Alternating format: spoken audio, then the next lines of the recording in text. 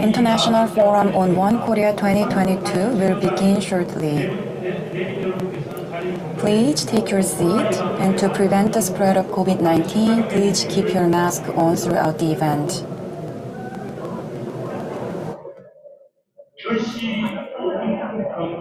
We will start the forum at 10.05. So please turn off your smartphone or mute your smartphone for the smooth operation of this meaningful forum today. For today's forum, simultaneous interpretation is being provided. If you see the top of the receiver, you can turn on the receiver and please turn to channel 1 for Korean and channel 2 for English.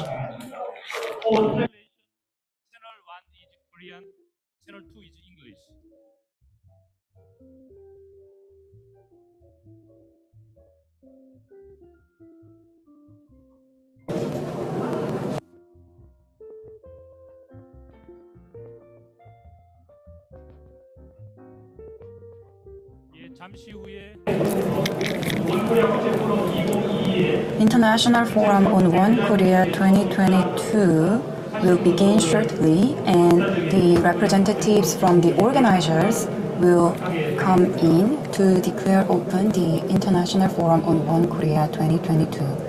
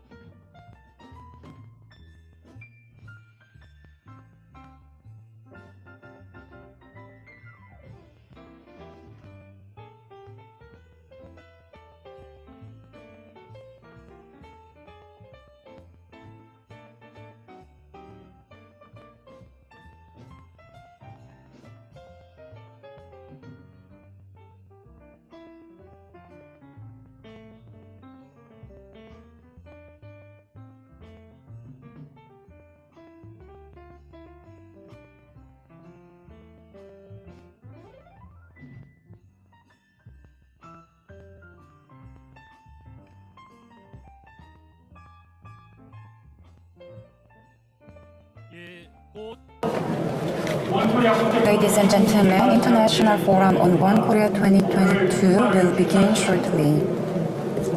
오늘 행사를 앞서 주최하신 어, 문현진 글로벌 비전단 의장님과 Dr. Hyunjin Moon, the chairman of the Global Peace Foundation and the co-organizers, co-organizers are arriving. Please give them a warm round of applause.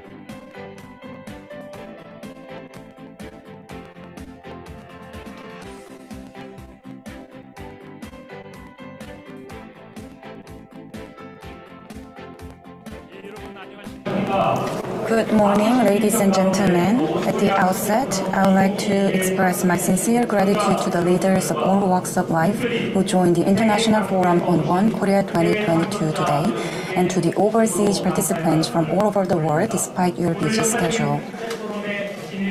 I am Park Jong-chun, the Secretary General of the Actions for Korea United, and I'll be an MC for this historic, historic international forum today.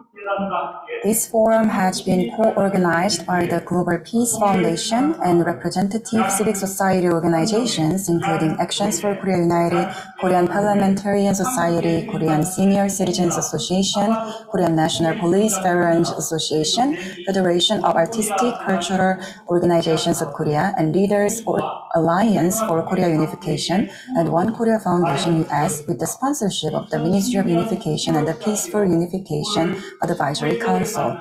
The International Forum on One Korea, which began in July 2016, marks its 19th anniversary today, and it has led to consensus and participation not only in Korea but also globally for the creation of a shared value of a free and unified Korea, centering on the Korean dream. I would like to express my sincere gratitude to all the participants and speakers at home and abroad who attended to gather insights and wisdom despite the busy schedule. In addition, we would like to thank the viewers in Korea and around the world who are participating online. Today's forum will be a meaningful venue to explore the strategic direction of peace and unification on the Korean Peninsula in the wake of an increasing tension under the theme of free and unified Korea, a catalyst for regional and global peace and development. Now, uh, let's give us a big round of applause to start the forum officially.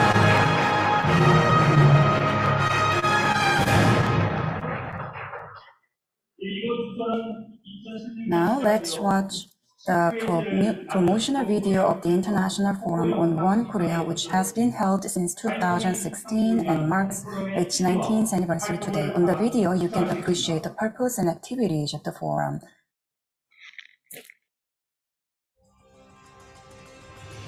(2022년 8월 13일) 대한민국 서울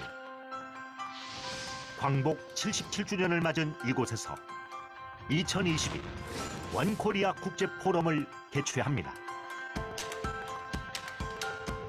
2016년 미국 원코리아 국제 포럼을 시작으로 올해로 19회째를 맞이한 세계 최대 규모의 한반도 평화 통일을 위한 논의의 장.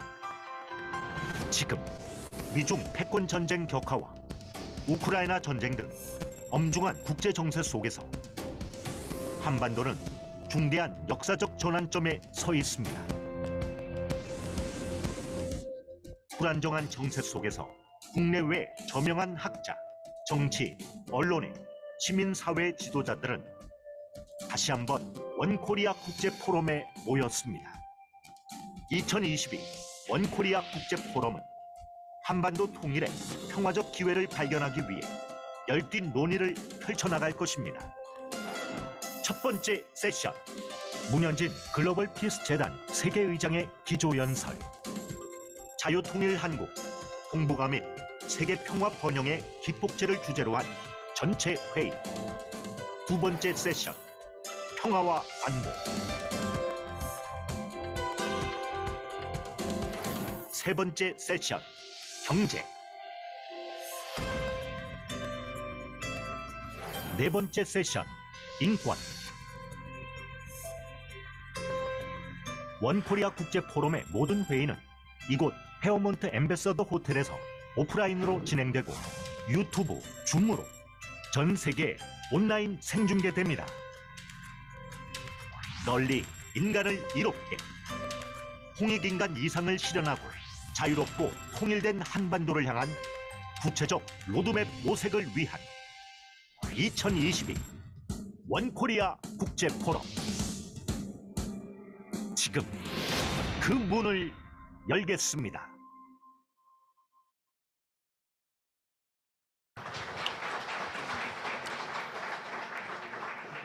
Thank you. Next, I'll introduce to you distinguished guests attending today's forum. I'd like to introduce to you all the leaders attending today's forum from Korea, but because time constraint, please understand that I'm only introducing some of them because of time constraint. First of all, I'd like to introduce to you Dr. Hyunjin Moon, chairman of the Global Peace Foundation, who has envisioned the Korean dream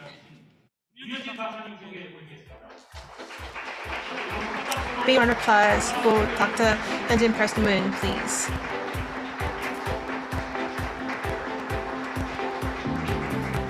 Thank you. And also, I'd like to introduce to you Dr. Jun Suk Moon, chairman of Peace Women, who has spread out the value of family love. Big round of applause, please, expressing gratitude.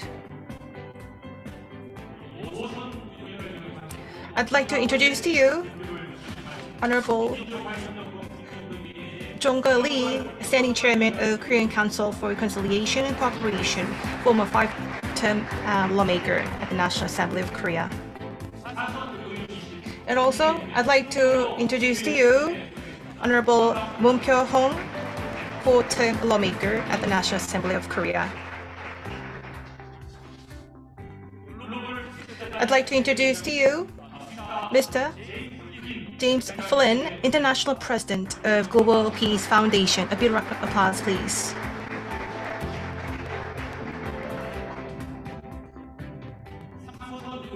I'd like to introduce to you the three-term lawmaker and also the representative, another co-host of the forum, um, Mr. Kim Dong-ju, who is the um, president of Leaders Alliance for Korean Unification. Also, I'd like to introduce you a lawmaker and standing chair of uh, AKU, Mr. Kim Chung-hwan.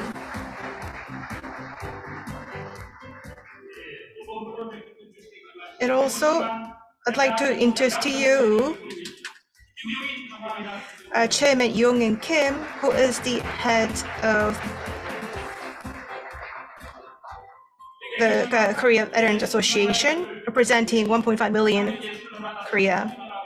And also, I'd like to introduce to you um, Chairman Lee Bum Hum, who is the head of the Federation of Artistic and Cultural Organization of Korea. And also, I'll introduce to you co-chairs of AKU, Mr. Sa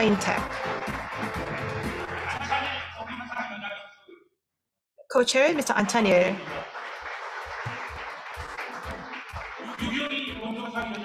And Yu Kyung-hee. Thank you. Also, I'd introduce to you who is leading 8.5 million ethnic Koreans living abroad as the head of the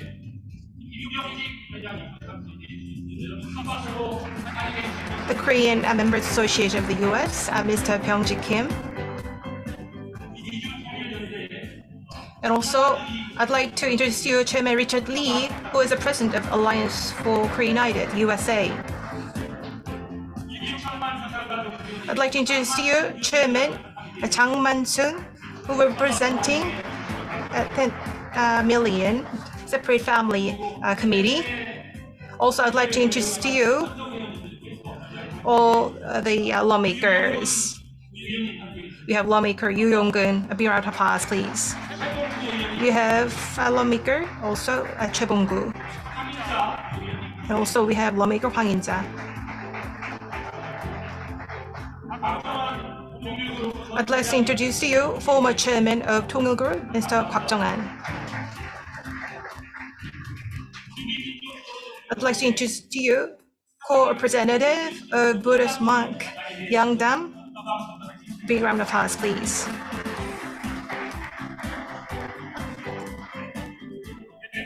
I'd like to introduce to you the chair, Park Jong-soo, who is the head of the Economic Cooperation Committee in the presidential office. And also, I'd like to introduce to you Secretary General of the um, Korean Office of the International People to People, Mr. Lee Cha-wan. Also, I'd like to introduce you International uh, President, Mr. Kwak Jin-man of Family Peace Organization. And also, I'd like to introduce to you uh, the chairman, Mr. Choi Jong-jin. And also, I'd like to introduce to you International President Kang Sun of uh, Global Peace Women.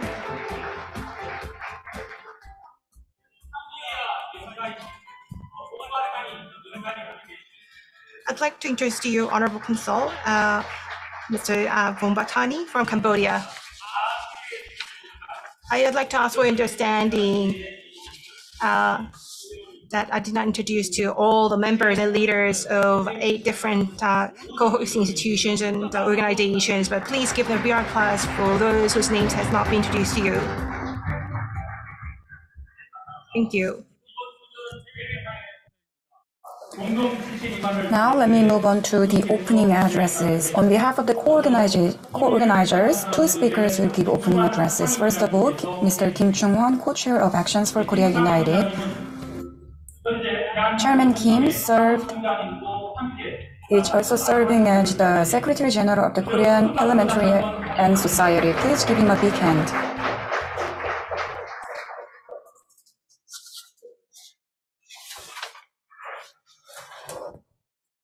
Uh, ladies and gentlemen, Johan, co-chairman of AKU. Uh, we sincerely welcome all of you who participated in today's International Forum on Korea 2022, uh, 2022 uh, to seek unification of the Korean uh, Peninsula and the world peace. Uh, unification of Korean Peninsula and world peace. I would also like to thank Chairman Moon Hyun-jin and Chairman Jim Flynn uh, of GPF.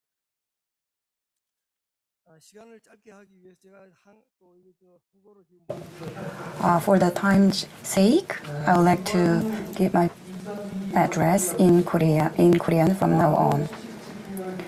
I sincerely welcome and thank all the participants who have gathered for the 2022 International Forum on One Korea to commemorate the 77th anniversary of liberation and to seek ways to realize world peace through the unification of the Korean Peninsula.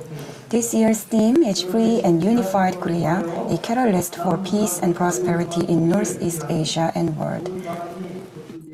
I hope uh, we can explore a lot of ways and come to a fruitful research of the discussions. In today's world, we are experiencing a very unstable situation with numerous problems, including the corona pandemic, the Ukraine war, climate change, and the global economic recession. In addition, the world economy is suffering from food shortages and energy supply disruptions due to the war in Ukraine. Also, North Korea is strengthening its nuclear bombs, intercontinental ballistic research, and SLBM capabilities. If left unchecked, the Korean Peninsula will turn into a flashpoint, which has the potential to lead to the catastrophe of the Third World War. However, if permanent peace is achieved on the Korean Peninsula and peace in the global village is established, our peace, our world will be safer. However, North Korea is refusing to come to the negotiating table. Therefore, if the world truly wishes for a denuclearization of North Korea, I think we need to seek another way. I believe the peaceful unification of the Korean Peninsula will be the surest way to this end. Then what will be the conditions for peaceful unification of the Korean Peninsula? The first condition is that 80 million Korean people need to aspire to unification and there should be support by powerful countries surrounding the Korean Peninsula. AKU and civic society organizations and a lot of people have worked hard for unification of the Korean Peninsula. What is important is to garner support from powerful countries surrounding the Korean Peninsula. The four major countries that have been involved in the division of the Korean Peninsula need to feel the moral responsibility to work for the unification of the Korean Peninsula. I, if the consensus on the need for unification is achieved by these four major countries. I believe the peace in Northeast Asia can be achieved. The Korean War and the Armistice Agreement and the division of the Korean Peninsula and other major events on the Korean Peninsula have all been affected by the interest of the four major powers. So I believe the cooperation and understanding of those countries is very critical today. The Korean people aspire to the peace on the Korean Peninsula. I hope the great powers, four powers, understand these aspirations and cooperate for the unification of the two Koreas. Ladies and gentlemen, I look forward to hearing your wisdom and insight for the unification of the Korean Peninsula and world peace today. Thank you. Thank you, Chairman, for sharing the importance of international cooperation to realize a free and unified Korea. Please give him a big round of applause. Please give him a big hand. Thank you. Next, Mr. Jim Flynn, International President of the Global Peace Foundation, will give a speech. Founded in 2009, the Global Peace Foundation is a UN special advisory group operating in 24 countries around the world to realize global peace and free and a unified Korea with the vision of one family under God. Please welcome him with a big round of applause.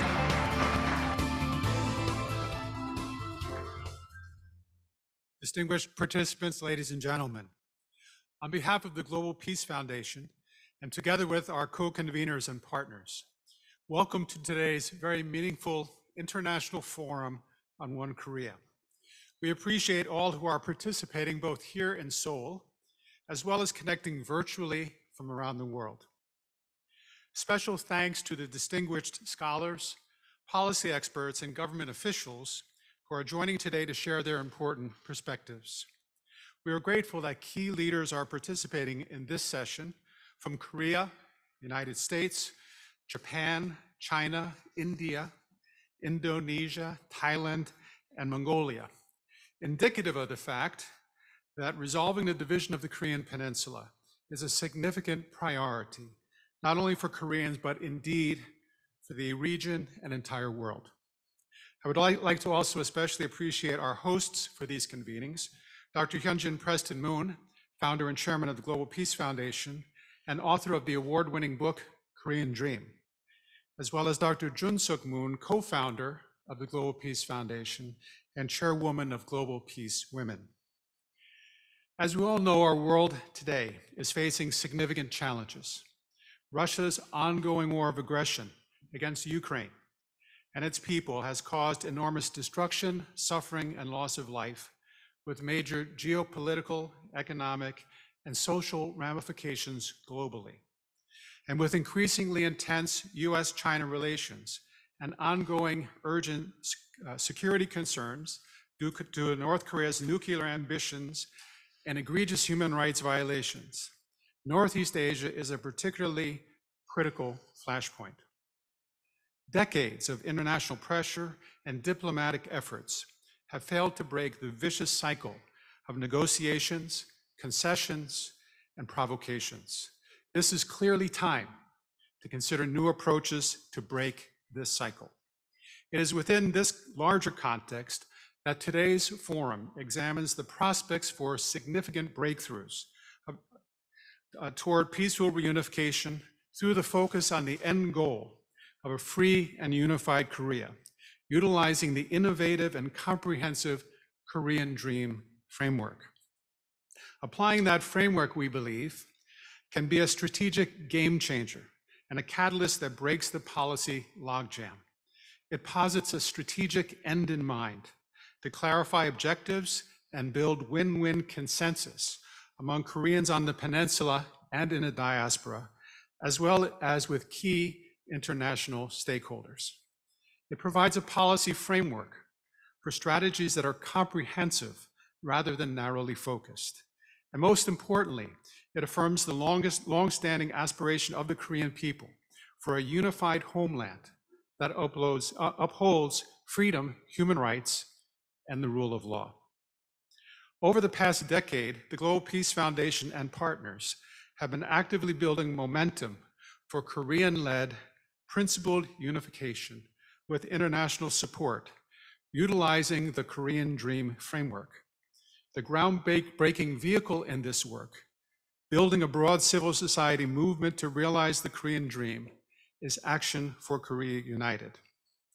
The AKU Alliance, with its thousand constituent organizations, is building a groundswell of support, demonstrating that with a compelling vision and a robust movement, that unified Korea, a unified Korea, is not a distant dream, but an urgent, immediate priority.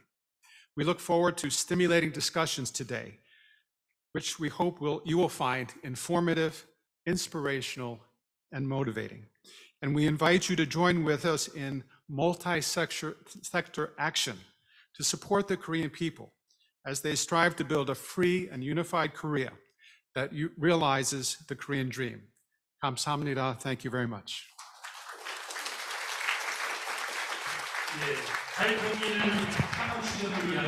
So he has been very active more than anybody else to achieve uh, global peace and free unified Korea. Be one applause for International President uh, Mr. Jim Flynn. Thank you. Next, we're going to listen to a congratulatory speech.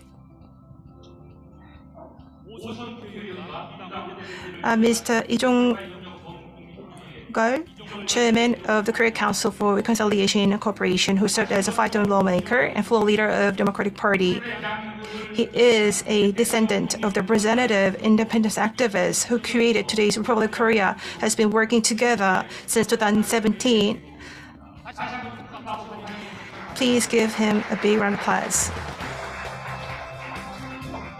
예, 광복 77주년 I'd like to congratulate the opening of International Forum on One Korea, also marking 77th uh, liberation, a year of uh, liberation of Korea from Japan. Also, I'd like to thank Dr. Hyun Jin Moon, Chairman of Global Peace Foundation, and I'd like to thank all the leaders of uh, different organizations participating in the efforts. So we have had uh, International Forum on One Korea for many, many years and our accumulate our achievements have been accumulated so far. So this forum has been a pioneering and an active platform for the efforts towards unification of Korea for more than decades. So many organizations have taken part, and I'm one of these people uh, who can say confidently uh, about how much we have achieved so far. Thankfully, Korea could achieve so much up until now. We have had the global pandemic, which actually hit the whole world. However, Korea actually could come up with countermeasures and could run up again. So over uh, decades of the blockage of a demarcation line, we actually are the peninsula that has been isolated for many, many years. It is also the land of also the Korean uh, dream, which has not been realized yet. Many say that uh, this crisis has turned into an opportunity. There has been a lot of conflicts between the Kore- Koreas, but we are moving beyond it. And also in terms of their uh, regime um, improvement and change, we are making a lot of progress. And South Korea actually has become one of the advanced countries in the world almost overnight. So that is why, I mean, we have gathered together today with great happiness. However, what we do wish for in this international forum is unify Korea and uh, there are several hurdles we have in this journey forward. First of all, um, 20 years efforts um, surrounding the Korean Peninsula have uh, not progressed so much because of the nuclearization of North Korea.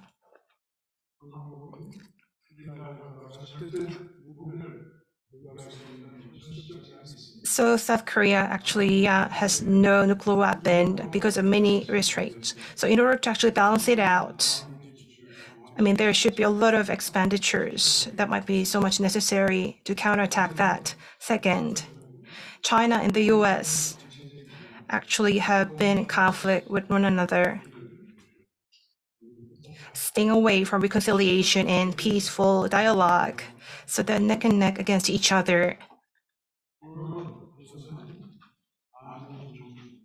So there have been many reasons for that. Security um, is the top priority for the US and economy top priority for China. That have been the norm in the past, but they're not so much valid anymore, I would say. Thirdly, as you're well aware, the Russia-Ukraine war has been prolonging for long.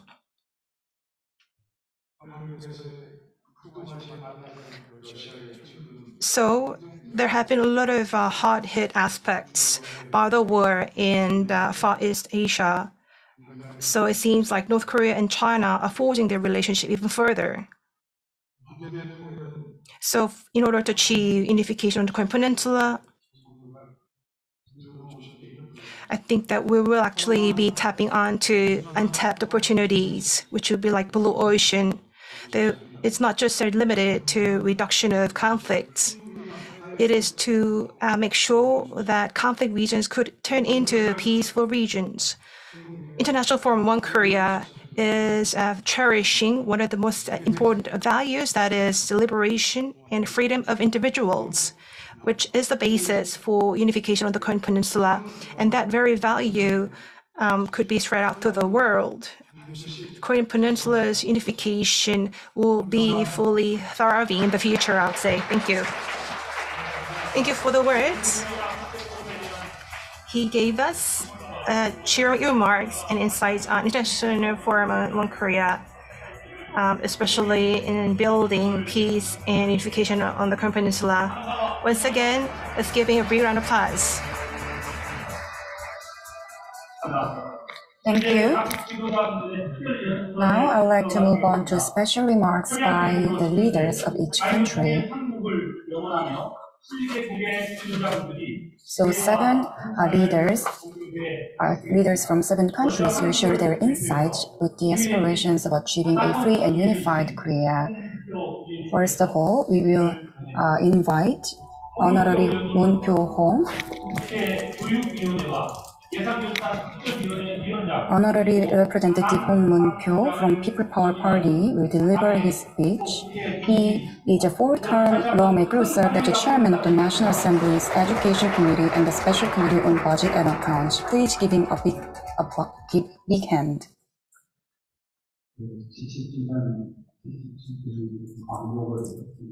So, celebrating the 77th anniversary of the liberation of Day of Korea, and as mm-hmm.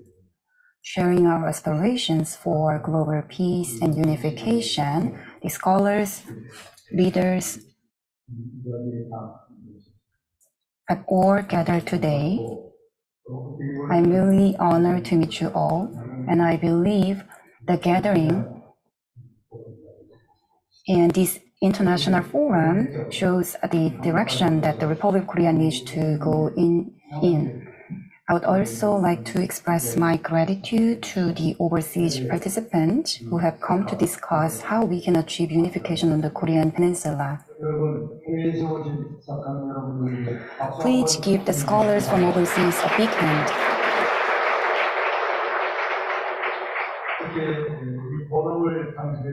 My special appreciation goes to Dr.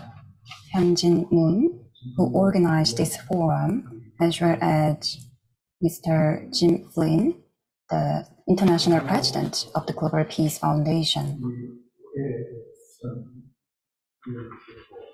Also, there is a former member of the National Assembly who is also leading the Korean Parliamentarian Society, Mr. Kim Chung Hwan.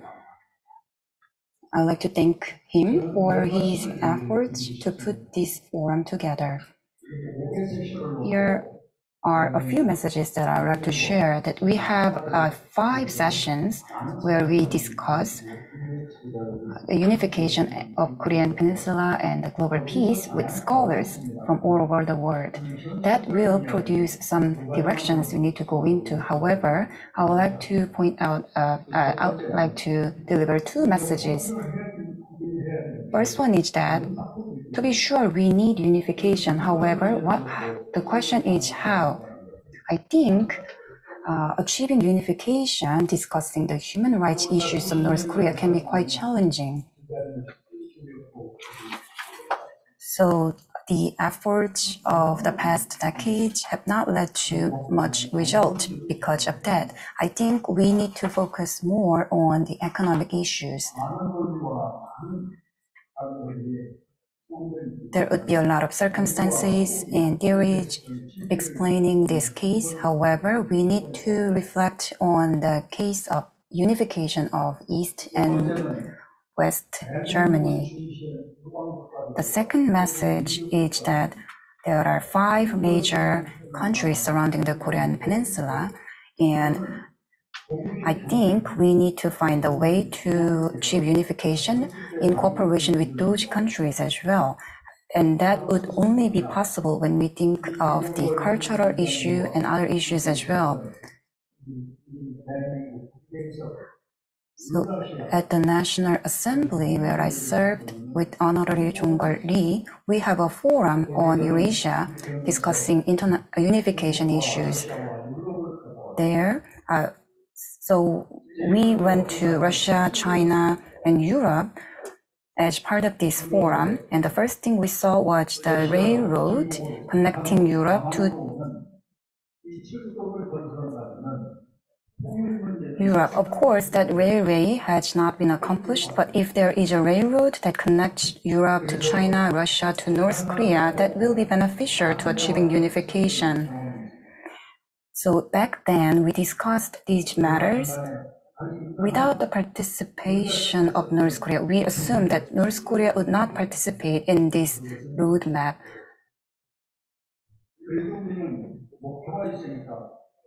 Uh, that goal might be hard to achieve. However, we believe that we need to put in efforts to achieve that goal. I think that is why the scholars and leaders from home and abroad have gathered today to discuss specifically how we can achieve that goal. I believe the there is one shortcut to uh, unifying the two Koreas, which is to focus on agricultural industry, agricultural issues when achieving unification. Because of the COVID-19 pandemic, for the last three years, North Korea has been reported to have severe food shortages. On 9th of this month, Kim Jong un gave an address saying that North Korea developed a new weapon and it was a threat to the international society. Actually, that was um, a me- key message that Kim Jong un used to deliver in his past addresses. However, this time it was different because he focused on the food shortages. I believe that was because the COVID 19 pandemic hit the North Korean economy as well. I think to address these financial difficulties of North Korea, unification can be a solution. So we need to focus on the economic issues for unification. In the past, we implemented a sunshine policy and provided support to North Korea. However, North Korea responded with the military provocations. This means that the sunshine policy will not work now. Uh, I think Rather, we need to focus on the agricultural issue because the food shortages have to be resolved. Now, food has become a security issue and has been weaponized. So, reflecting this reality, we need to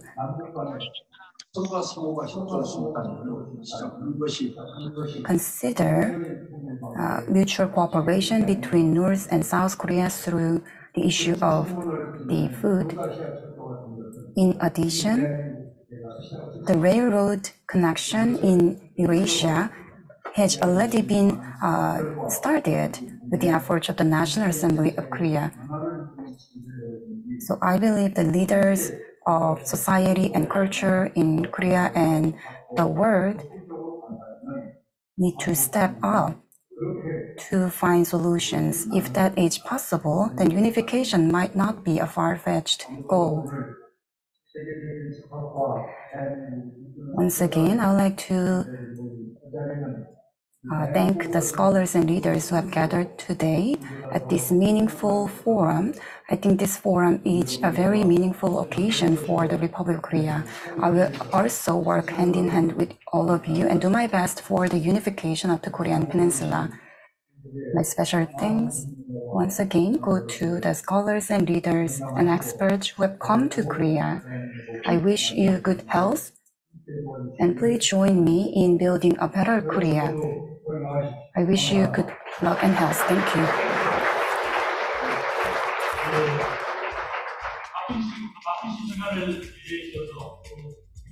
Thank you, Honorary Moon-pyo Hong, for your insights and your encouragement for the unification of the Korean Peninsula. Please give him a big hand once again. Thank you. Now I'm going to introduce you Mr. Lee Sang-min, a five-time lawmaker who is a member of the Foreign Affairs Unification Committee and chairman of the Korea-EU Parliamentary Foreign Affairs Forum. Lawmaker Lee eh, could not uh, join us because of the schedule at the Democratic Party. It sent us a video speech, so please watch the video. 안녕하십니까. Good morning. I am Lee Sang-min, lawmaker of the National Assembly. Congratulations on the opening of International Forum on One Korea on the 77th anniversary of Korea's liberation from Japan's colonial rule. I deeply appreciate the hard work of Dr. Hyunjin, President Moon, Chairman of the Global Peace Foundation, or other people who have organized this event. I'd like to also say greetings to everybody who is here today. First of all, I'd like to ask for your understanding that I am not with you in person. I truly wanted to go there to deliver a speech. However, there has been overlapping of the schedule for the critical meeting at the party, so please bear with me on that. Now, the world is in a very serious situation on the Korean Peninsula. The hegemony competition between the US and China is intensifying day by day. The international situation, including Russia's invasion of Ukraine, is very unstable. In addition, inflationary crises such as high prices and high interest rates, supply chain disruptions, climate change, energy crisis, and economic stagnation are also aggravating the crisis faced by the mankind in the world.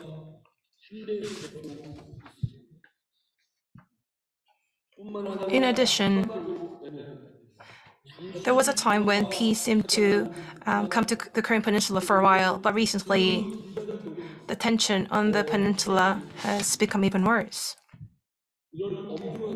Therefore, it is very meaningful that prominent scholars and political and civic groups from home and abroad have gathered at this meaningful forum to prepare wisdom for peaceful unification and joint prosperity on the Korean Peninsula.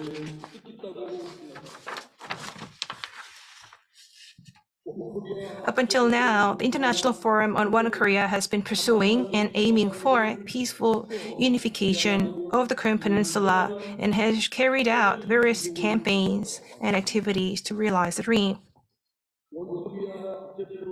I hope that the International Forum on One Korea could achieve its desired dream in the near future.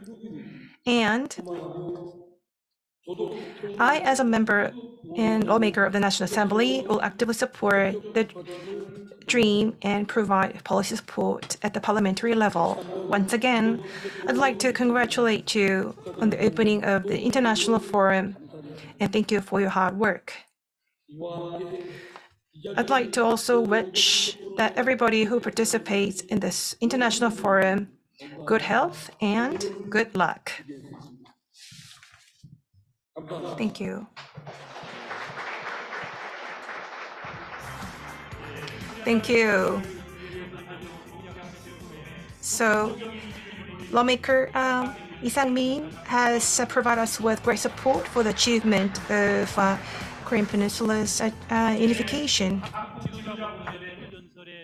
Now, we would like to invite uh, participants from overseas for their remarks. First, David Maxwell, a senior fellow at the Foundation for Defense of Democracy.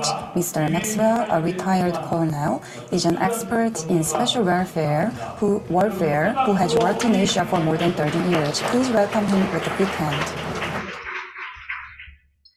Thank you. Good morning. I'd like to thank all the organizers, sponsors, contributors, and participants uh, in this great event and for the opportunity to be among such distinguished speakers and leaders.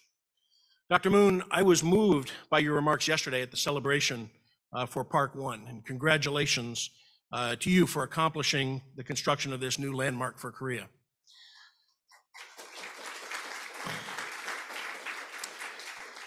Everything that you say and do seems to be tied to your vision, a vision we all must share the Korean dream. It made me think about the one strategic question we should continually ask ourselves and our organizations How does this action, whatever it is, contribute to achieving a free and unified Korea? Or what I like to describe as a united Republic of Korea. You are okay, UROK. You're going to hear me repeat free and unified Korea, and many of us will repeat those words today. And I'll repeat that and UROK over and over again, so please bear with me. The title of my remarks today is to honor Korean liberation, Korean Liberation Day, pledge to realize a free and unified Korea. I'm going to make four main points using the three step methodology of the U.S. Special Operations community. Number one is to appreciate the context, number two is to understand the problem, and number three is to develop an approach. So, first, to appreciate the context, North Korea is the, th- the threat to national security and national prosperity, not only for South Korea, but also the region and the world.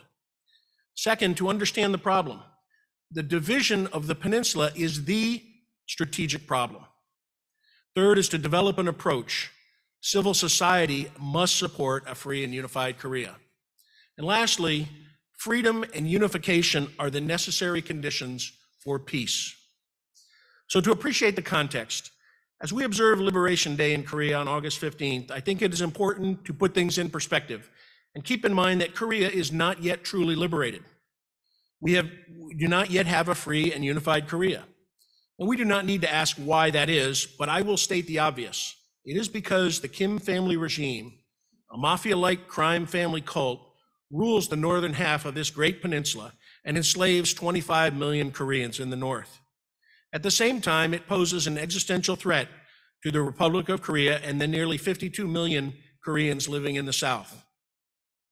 The most dangerous of all is that the regime seeks to bring the entire peninsula under the rule of what I like to call the guerrilla dynasty and gulag state, officially known by the most ironic name, the Democratic People's Republic of Korea, a country that is neither democratic nor a republic and certainly does not belong to the people. Of course, we face myriad threats from the north, the worst case being war with its full range of weapons of mass destruction, to inst- internal instability and regime collapse in the north, and all that entails from refugees to an immense humanitarian disaster and civil war and chaos. The North is also actively working to subvert the South and its relations with the United States and the international community. And it is conducting illicit activities around the world, from the proliferation of weapons to conflict zones to counterfeiting and money laundering, the cyber attacks to drug trafficking. But worst of all, it is conducting crimes against humanity on a scale we have not seen since World War II.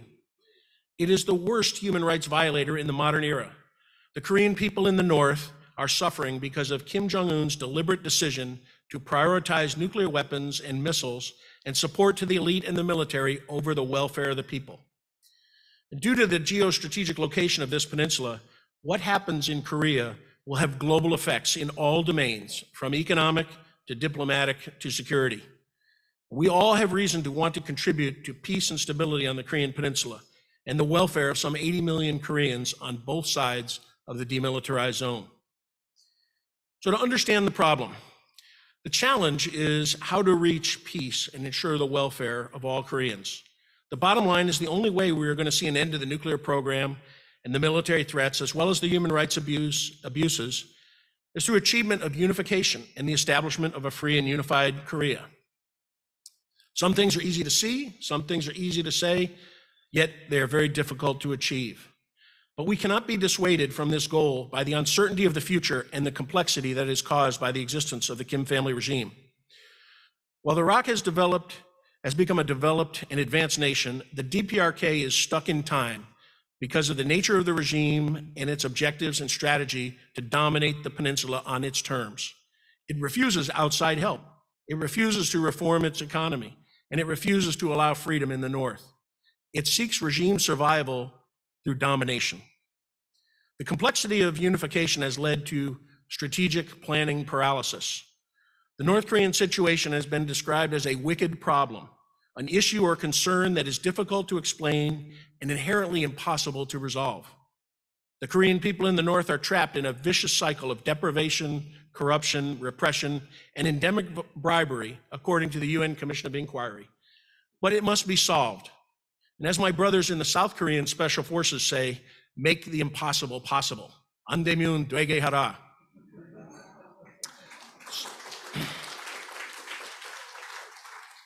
So to develop an approach, The Yoon and Biden administration, as well as civil society in both the Republic of Korea and the US and countries around the world, have an opportunity for a new approach to the Korea security challenge. The ROK US alliance way ahead is an integrated deterrence strategy as part of the broader strategic competition that is taking place in the region. There is a need for a Korean Plan B strategy that rests on the foundational, uh, the foundation of the combined ROK US defensive capabilities. It includes political warfare, aggressive diplomacy, sanctions, cyber operations, and information and influence activities with a goal of denuclearization. But ultimately, the objective must be to solve the Korea question. And this is outlined in paragraph 60 of the 1953 armistice, the unnatural division of the Korean Peninsula. With an understanding that denuclearization of the North and an end to the human rights abuses and crimes against humanity will only happen when this Korea question is resolved. And such resolution will lead to a free and unified Korea, otherwise known as a United Republic of Korea. Civil society can make great contributions to help achieve this worthy goal. I believe there are four paths to unification. The first is war, which we must work to deter, but we also must be absolutely prepared for. The second is regime collapse, which can lead to war and widespread conflict and human suffering. The desired path is peaceful unification and the merging of North and South through mutual agreement. And the fourth is the emergence of new leadership in the North who will seek peaceful unification. South Korea, with the support of its friends, partners, and allies, and civil society around the world, should plan and prepare for peaceful unification. Paradoxically, this is the most complex and difficult path to unification, and possibly the least likely to occur because Kim Jong un is unlikely to ever go quietly into the night. But it is the morally right path because we must seek to do it peacefully, as peacefully as possible. However, even if war or regime collapse occurs, all the work done for peaceful planning will still have application in the unification process. Regardless of one of the four, any of the four paths taken, peaceful planning, planning for peaceful unification will provide the foundation for a free and unified Korea. While the ROK and US governments as alliance partners should form their own unification task force, civil society can play a very important supporting role and contribute to a free and unified Korea. I recommend the formation of civil society task forces that are willing to support the goal of a free and unified Korea. There is much work that can be done in the long term preparation for future humanitarian assistance, education, economic engagement, infrastructure development, political process integration, and communications, just to name a few areas for considerations. And frankly speaking, there are many Koreans who are fearful of the enormous costs of unification. But these fears can be overcome if civil society members around the world are willing to step up and show their support for the Korean people. One of the areas where civil society can begin immediate work is in information. The UN Commission of Inquiry identified this as one of the most egregious human rights abuses, writing, quote, throughout the history of the DPRK, among the most striking features of the state has been its claim to an absolute monopoly over information and total control of organized social life. The commission finds that there is an almost complete denial of the right of, to freedom of thought, conscience, and religion, as well as the rights to freedom of opinion, expression, information, and association, end quote. Kim Jong un denies access to information because he fears it will undermine the legitimacy of his rule and it would erode the regime's ability to maintain absolute control over the population. While the North is isolated by design, information is getting into the North through myriad electronic media and pathways to help inform and educate the Korean people in the North and prepare them for eventual unification. Furthermore, there are Koreans from the North working around the world Although difficult due to North Korean security services, efforts should be made by civil society task forces in countries where North Korean workers uh, are living to, to engage them and to also inform them and help them bring back knowledge and ideas. Lastly, civil society and governments also need to understand the Korea question and the importance of unification for the Korean people, the region, and the world. The removal of a rogue nuclear country and a major human rights abuser is in the interests of the international community. In addition, the contribution that a free and unified Korea with some 80 million Koreans uh, combining the industry and advanced technology of the South with the vast untapped resources of the North will make substantial contributions to the global economy. And the possibilities for civil society's support to a free and unified Korea are limited only by our imaginations. Now, lastly, I will say that freedom and unification are the necessary conditions for peace. As we observe Liberation Day on Monday in Korea, we should be thankful for, for the rights that we all enjoy, such as the four freedoms that President Roosevelt's famous speech and that are now enshrined in the Universal Declaration of Human Rights freedom of speech, freedom of worship, freedom from want, and freedom from fear. We should ask when the Korean people will realize this statement in the Universal Declaration quote, all human beings are born free and equal in dignity and rights. They are endowed with reason and conscience and should act towards one another in the spirit of brotherhood. End quote. And we should all aspire to help all Koreans to achieve the freedom they called for in their own Declaration of Independence in 1919. And I quote, We claim independence in the interest of the eternal and free development of our people, and in accordance with the great movement for world reform based upon the awakening conscience of mankind. We need to awaken our conscience. South Korea experienced the miracle on the Han, while the only miracle in the North is that the Korean people continue to survive under the most despotic regime in the 21st century. The ROK is the only developed nation in history to go from a major aid recipient to a major donor nation and become the 10th largest economy in the world with a global reputation for excellence. The Korean people in the South accomplished this due to their hard work, ingenuity, initiative, and sacrifice, and with the support of friends, partners, and allies. The unification process will be difficult, but with the support of nations and civil society, it can and must lead to a second miracle in the 21st century, a free and unified Korea. Let me close and say again, the only way we are going to see an end to the nuclear programs, the nuclear program, military threats, as well as the human rights abuses, is through achievement of unification and the establishment of a free and unified Korea, one that is secure and stable, non-nuclear, economically vibrant with free market principles, and unified under a liberal constitutional form of government based on individual liberty, freedom, the rule of law, and human rights as determined by the Korean people. A free and unified Korea, or in short, a united Republic of Korea. Let me end with the Korean Special Forces greeting when saluting that they always they always say to each other, Tong Il, unification. Thank you. Thank you, Dr. Maxwell, for emphasizing your support for the Korean dream and how we can overcome the challenge through the solidarity of the US and Korea, as well as the civil society solidarity. Thank you again. Please give him a big hand. Now I'm going to introduce to you Mr. Nobuo Tanaka, the former Executive Director of International Energy Agency. Let's watch the I am speech. delighted to be invited to make a statement for the International Forum on One Korea today. Dr. Fatih Birol, the Executive Director of the International Energy Agency, said recently, we are in the middle of the first global energy crisis. In the 70s, it was the oil crisis. And now we have an oil crisis, a natural gas crisis, a coal crisis, and an electricity crisis. All prices are skyrocketing, and energy security is a priority for many governments, if not all.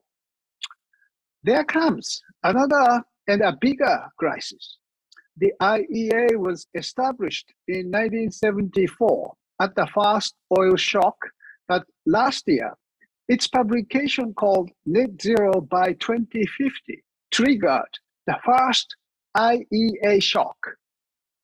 Dr. Birol said that energy companies must stop all new oil and gas exploration projects from this year if Net Zero 2050 should happen, and he panicked OPEC Plus, and oil producing companies.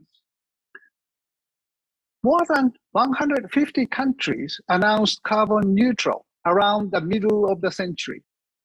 Many megatech firms like GAFAM and auto companies declare carbon neutral with their whole supply chain by 2030s. The climate crisis is really coming. President Putin of Russia may have decided to invade into Ukraine before the peak demand of oil or gas happens, as Net Zero 2050 report indicates. A resulting war with uh, uh, of Europe uh, and Russia uh, pushed many European nations away from Russian gas to more renewable and nuclear power. The IEA just published the nuclear report and said that nuclear energy could play an important role in ensuring rapid and secure energy transition. If Nord Stream gas pipeline be shut down by the end of the year, Germany may be forced to postpone the phase out of nuclear power. But a new era for nuclear power is by no means guaranteed. The European taxonomy for sustainable investment calls for tighter conditions for nuclear power. Safer fuels and less risky SMRs are needed together with concrete plans for disposal of radioactive nuclear waste. I think there is an important condition for nuclear power to be sustainable. It is proliferation resistant nuclear technology. Russian invasion to Ukraine may have urged non-weapon states to have a weapon. If Ukraine didn't return some of its weapons to Russia, Russia may not have invaded Ukraine. Sustainable nuclear system must be first SMR with passive safe features. Secondly, it must have concrete plan for the radioactive waste disposal. And thirdly, it must be proliferation resistant technology. There exists such a technology, integral fast reactor and pyroprocessing of the Idaho National Laboratory of the United States. This technology can be used to take care of meltdown fuel debris of the Fukushima Daiichi nuclear power plant. Korea, Japan, and the US should work together to promote this technology as a sustainable nuclear power by inviting like-minded countries to, jo to a joint development project such as versatile test reactor. As a first step, Japan and Korea can work together with the US to denuclearize North Korea by moving its plutonium to Japan and highly enriched uranium to Korea to burn in our nuclear reactors. This is the ultimate peace use of our nuclear reactors. To enhance confidence of our neighbors, Japan and Korea should join the nuclear weapon ban treaty as well. I hope Korea and Japan engage into my ideas to enable peaceful unification of Korea Peninsula. Thank you very much.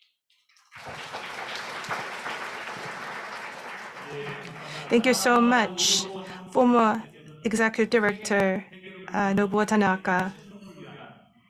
He gives very good uh, importance, importance of South Korea, U.S., Japan cooperation to resolve the North Korean nuclear issue. Although he is not here with us in person, let us give him a big round of applause for giving us excellent remarks. Thank you.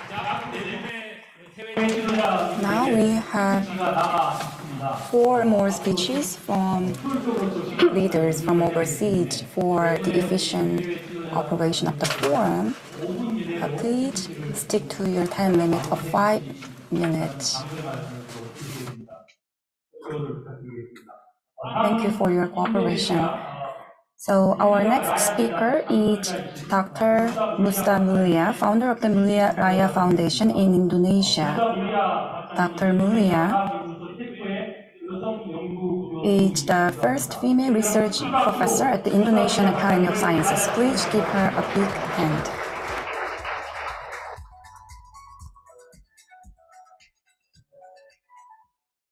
Distinguished participants, ladies and gentlemen, good morning. Actually, Indonesia fully supports a free and unified Korea as a as academic for regional and global peace and development. I believe that all Indonesian people will always strive for what be peace based on respect for humanity, independence, and social justice, according to my ideology, Pancasila. Our ideology, Pancasila, consists of five principles the principle of spirituality, the principle of humanity, the principle of the unity of Indonesia, the principle of democracy, and the, the principle of social justice. These five principles are very, very compatible with the universal values of human rights and also the concept of peace building. In upholding peace and reunification of Korean Peninsula, in my opinion, there are at least four important things must be done. First, the importance of peace efforts. I personally really appreciate the efforts of the government and people of the Republic of Korea to build lasting peace, starting with the decision to join the United Nations in 1991, then with expanding its active participation in multilateral diplomatic relations coincided with its growing global position economically. The world also really appreciates the important role of Ban Ki-moon, who previously the Minister of Foreign Affairs and Trade of South Korea to become Secretary General of the United Nations. We all know that during nearly two decades at the United Nations, the Republic of Korea has actively participated in many peace efforts and the resolution of international problems handled by the UN, such as conflict prevention and peacekeeping missions, development projects, and protection of human rights, and so on and so forth. I do believe that these efforts to uphold peace must continue to improve and strengthen so that they become the foundation of a free and unified of Korea. Secondly, the importance of dialogue and cultural efforts. I have always believed that the Korean nation has a very, very strong cultural identity. Korean nation have the same identity and cultural character because both are rooted in the same family. In my opinion, there will be this, the big spirit and at the same time, the key to peace for the reunification of Korea. I'm thinking about other possibilities of reunification of Korean Peninsula. If the step of reunification is too difficult to achieve, I think it's better to start first with many efforts to build peace on the civil society level. I think this might be more acceptable to everyone. So it's kind of a gradual effort, not all at once. The best option now is how to stop the threat of war and start partnerships in many fields, such as economics and culture, to bring about peace between South and North Korea. Peace efforts of this kind have actually started in Indonesia, in my country, for example. In 2018, we have ASEAN Games event, which was held in uh, Jakarta, made quite a touching history since the Korean conflict, which has lasted for more than 70 years. At the moment, the continents of South and North Korea united to carry the big name of Korea by using the unification flag. That is very, very cool and very beautiful.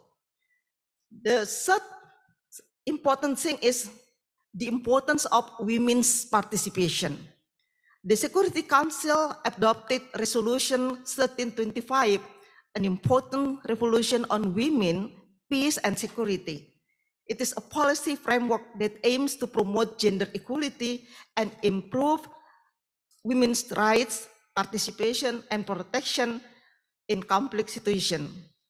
This global conflict this global policy encourages a gender-based approach to recognize the role of women in all areas, including in peace efforts related to reunification of Korean Peninsula.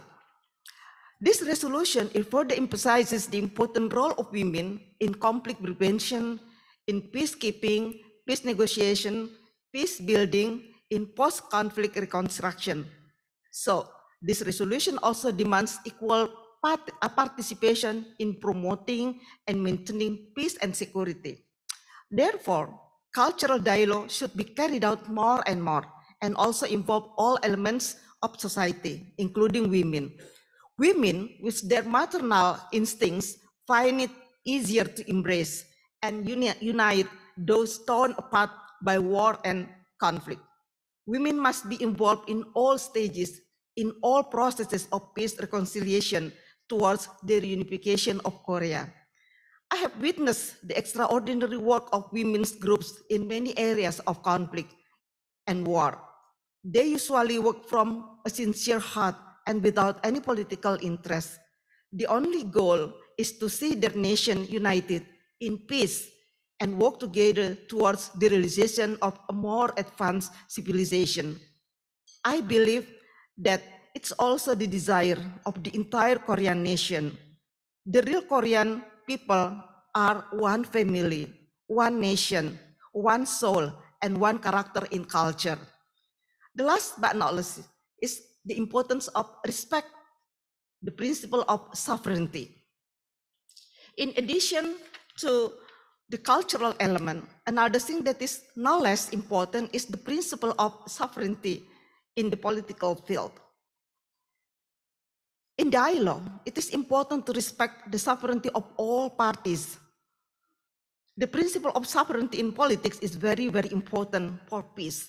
The description of sovereignty in the political field means that eternal, that eternal peace can only be carried out by the Korean nation itself without any intervention from other countries.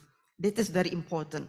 The realization of peace and the unification of Korea is very, very important for all nations, even for all human beings, including Indonesian people. Because with peace and unity, many forms of cooperation that benefit the international community can be carried out. But the most important thing is that peace is an absolute condition for survival, security, and prosperity for all human beings. Finally, we know that peace cannot be built in a short period of time, more so through hard-hearted efforts. Building peace must be through hard efforts. They are organized, systemic, and involves all elements of society. And most importantly, it comes from a strong commitment from within ourselves, from within the family, and further on from a larger community. It is definitely not easy, but we must work hard if we want to have peace. So, Dr. Moon, so there is still much work to be done. Thank you, thank you, thank you.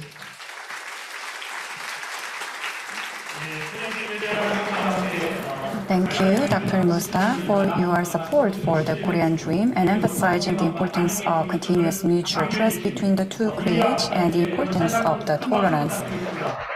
Please give her a big hand. Thank you. Now I'm going to invite Dr. Kriengsak Chareonwongsak, who is the founder of the Nation Building Institute in Thailand. Dr. Chareonwongsak served as a parliamentarian advisor to the Thai Prime Minister. Let's give him a big round of applause.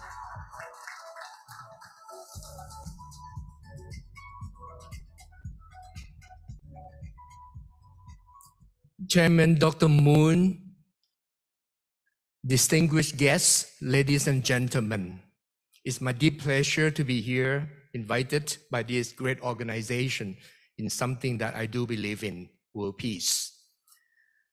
The universe is one. If the universe is one, therefore it is interconnected and is also interdependent. And because of the essential nature of the universe is one, surely every components in the universe, including Korea, should be one. Let me state at the outset that the university of the world is not a multiversity. The original word is universitas, which means we are essentially everything is one. Knowledge is a body of knowledge, is one. And therefore, humanity is one. Therefore, with pleasure, this conference invited me to address an issue of free and unified Korea is therefore is something I deeply believe in. Let me say this that I'm old enough to be friends with some of the old general of Thailand who fight in the Korean War.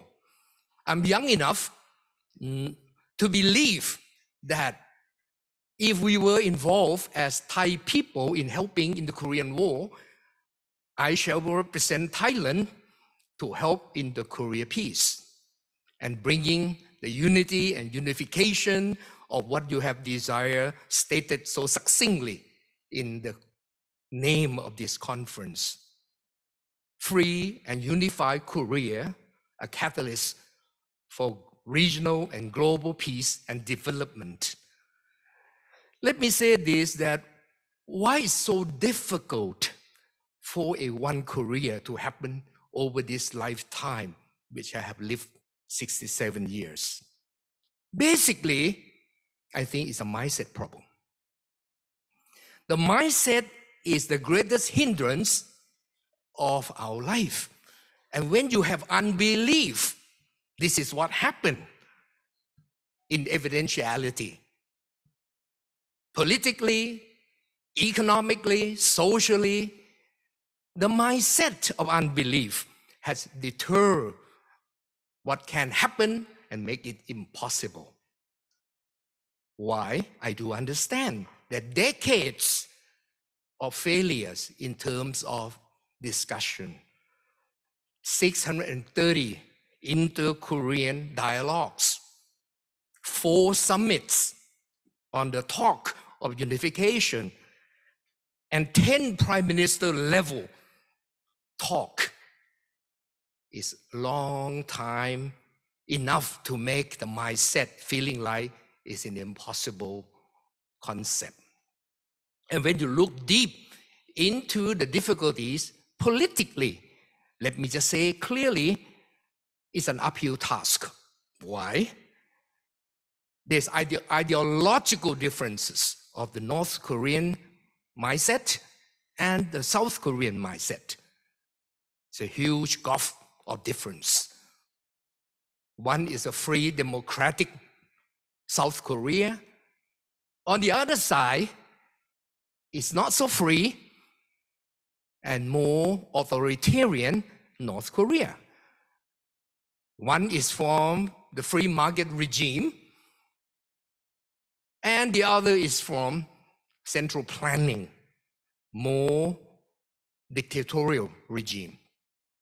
Therefore, I can see why politically the mindset can be very difficult. How could unify ideological differences? How can you unify democracy with dictatorship? Economically, Koreans have become very powerfully and prosper. We used to be at the same level between Thailand and Korea when I was doing my PhD. At that time, today Koreans surpassed Thailand, and I'm glad with you. You have become part of the OECD first world for a long time, South Korea. But the North Korean brothers are very poor. Economically, it's difficult to bridge. It's an uphill task.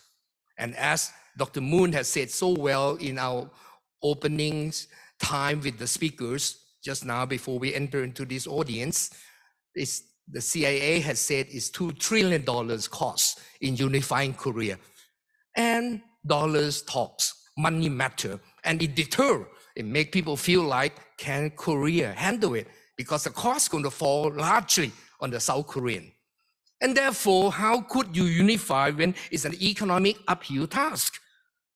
The economy of Korea The North and the South are vastly different. The size is so different. The prosperity, the level of development is so different. And the strength of the economy are so different.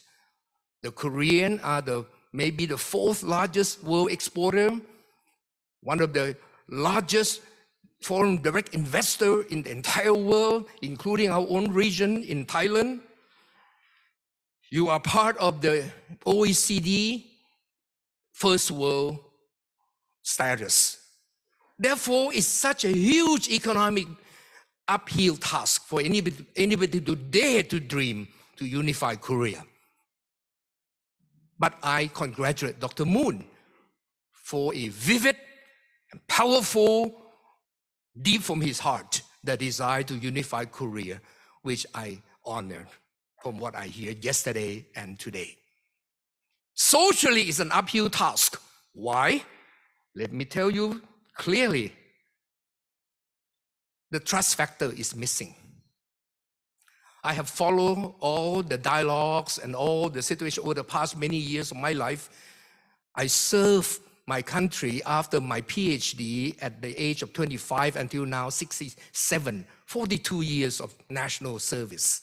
I served many prime ministers. I was in parliament as member of parliament myself.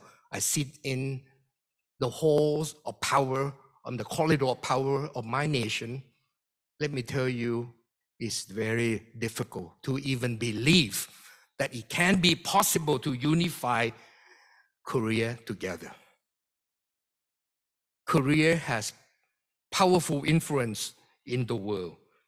The trust factor is missing between the North and the South. I went to the military, deep, the borderline of the military zone of the two countries. It looks tough. Human development level is so different. You have the celebrated, great, powerful university of Seoul National University, Yonsei University, equivalent to my Harvard and Oxford, Cambridge background. But the Korean in the North has no education, hardly. How many people can truly be skilled and knowledgeable enough to enter into the big integrated economy and socially? It's an uphill task. The value is the most essential thing, very difficult to bridge. How can the two value system side by side sitting together this let alone integrated to be one i'm telling you all the difficulties not to tell you not to do it just to tell you to congratulate you that you're doing something beyond the normal capability of human imagination but let me tell you if korea unified the region will benefit. Let me tell, tell you why ASEAN, for example, is a representative region which I belong to, will benefit. We will benefit in our mind, mindset that we will believe in one ASEAN. I'm a champion of ASEAN unification at a higher level. I dare to dream of United States of ASEAN. This is out of the political policy of my own party that I used to belong, which is the oldest political party and the, one of the most important political party in my country. I know the forefathers who established ASEAN. My deputy prime minister, the late deputy prime minister Thanat Khoman, who found ASEAN together with the rest of a few core ASEAN members. But today, frankly speaking, ASEAN is like a paper tiger They have no tools. It will not go much further unless we go a more unified way. Therefore, if you unify Korea, ASEAN may think there's a possibility. Therefore, it will help us with our mindset that we can unify the impossible ASEAN. Socially, we're so different. Multi-religious background, multi-racial, multi-linguistic kind of background our economy is so different between the powerful economy, Indonesia, Thailand, Singapore, Malaysia, and the less developed economy in the rest of many ASEAN countries. So it's huge difference. Socially, politically, we have formed the Free Democratic Thailand, where some our ASEAN members are from the former communist regime. And therefore, if you can unify in Korea, we may think of the mindset of possibility of unifying ASEAN too. So for regional prosperity and problem can be resolved. Let me say it also quickly, the global benefit, not only the regional benefit, because your theme is regional peace and development and global peace and development. Today, the world is slowly decoupling between the Chinese led bloc, may I say that, and the US led bloc. It's slowly decoupling and is departing at this juncture of history, which is very dangerous, that could enter into any kind of conflicts, the peace that we will not want to allow it to go away. Politically, it's the difficult world we are living in. Simplifying by some representative proxy war in the Ukraine conflict. We also see the economic difficulties in this world.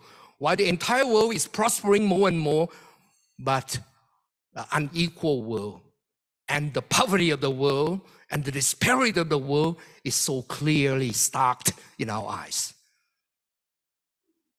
Socially, the world has never been so divided. Let me tell you, it's so sad to see humanity so divided. Therefore, if Korean can be one, we have the hope that ASEAN for in the region and other region can be one, and the world, the global world, can benefit to be one. Let me conclude by saying something from deep from my heart. Thailand was a small friend of Korea. I have a deep fondness of Korea all my lifetime. Been here so many times, many good friends here.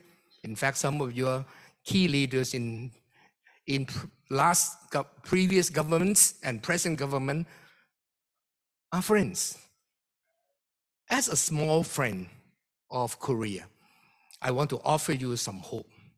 I want to tell you that Pardon my academic background as professor of economics and management. Kenneth Arrow, the Nobel Prize laureate in economics, have created a theorem called theory, theory of impossibility, mathematical fanciness. But I want to say today the theory of possibility, which is not mathematically fancy, easy to digest and understand by all. I have said there are three key equations, three rules for the possibility theory in my mind for you to apply to one Korea. Number one, rule number one that you want to make things possible, I would say this believe that you can do. If you believe you can do, then you can do. Believe you can do what you think you cannot do believe you can do when other things they cannot do. Can do spirit. Thank you, David. You're vice president who have looked into my Facebook and said that they call me Dan Can Do in my country. And when I campaigned for the governor of Bangkok, they said Dan Can Do. Yes, can do spirit in your mind. Rule number one if you want to unify Korea, you have to fight the mindset problem, a can do spirit. Yes, believe you can do. Rule number two of the possibility theorem that I want to suggest here not only believe, but action, do too. Do it now. You got to take action, not only believe, but take action. And rule number three, let I give it to you for my possibility theory. Give up? Never. Never do. Never give up. If you do these three things, one day I will celebrate with you when I come back again one more time in Korea. Yes, it's a unified Korea. I have written the book, out of 200 books I have written in my, my lifetime, Unified Pluralism. I believe that true unification and unity is to unify the diverse, the diversity of pluralism. And therefore, it is possible to unify Korea. It is possible if in your mind you can do it. Let me conclude by saying the world is one big family. I believe that from all my heart. For the last 42 years, I have written something that the world is one large family. If you believe that we are one big, large family, and others of our brothers have done so, look across the shoulders over the last many years, Germany. I have the privilege of being in Germany for many years in a row for 20 years, discussing with many dignitaries like Henry Kissinger of the US and other great leaders. We saw un- unification of Germany, the East and the West. Yes, it was costly, but the German can do it. And if they can do it, the Korean can do it. Thank you. Thank you so much. He actually uh, awakened us on the importance of the uh, unification of the Korean Peninsula and be optimistic about that dream and the, the synergies the unification will bring about to the world and within Asia. Let's welcome, uh, let us uh, give him a big round of applause, please. The next speaker is Ambassador Ashok Sajjanhar, a clear career diplomat who served as an Indian ambassador to Sweden and Kazakhstan. He is currently a member of the Manohar Parrikar Institute for Defense Studies and Analysis. Please give him a big round of applause.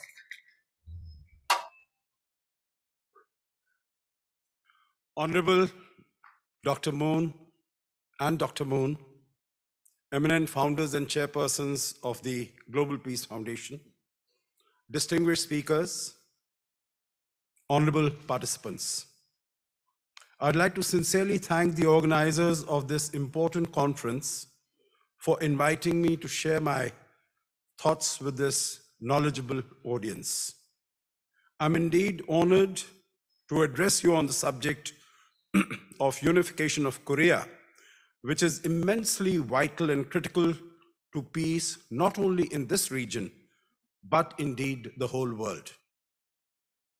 Friends, history over centuries and millennia has taught us that man, mankind and nations prosper and develop, and humans are able to realize their full potential and aspirations when they live in an environment of peace.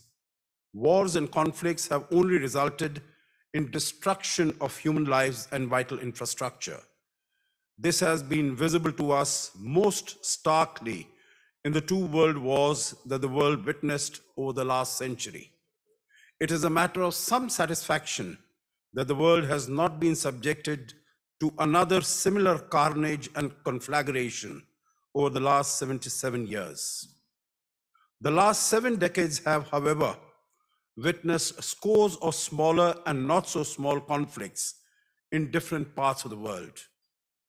Impact of such conflicts can be much worse since the world today has access to nuclear weapons as well as other weapons of mass destruction.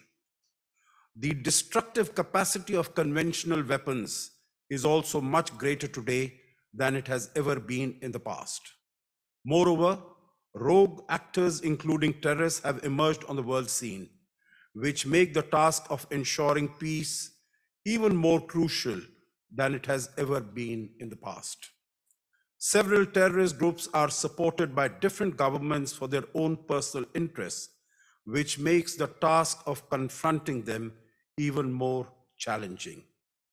It is highly regrettable that while a totally unnecessary war drags on in Europe with devastating implications and ramifications for the world, security, economic stability, and prosperity, we witness further ratcheting up of tensions in the Taiwan Straits, South China Sea, East China Sea, Yellow Sea, and the Bohai Sea. It is imperative that the world come together to apply every form of pressure to promote harmony in the region and beyond. Friends, unification of the two Koreas and restoration of peace amongst them presents one of the most intractable challenges confronting the global community today. a new framework would need to be evolved, which would entail bringing the citizens and the economies of the two rival Koreas together while maintaining the separate countries and political systems. Several models for reunification have been suggested. I feel that one suitable approach would be to use the model of launch and evolution of the European Union. As the then Foreign Minister of France, Robert Schuman, articulated in the declaration named after him, we must make the war not only unthinkable, but also materially impossible.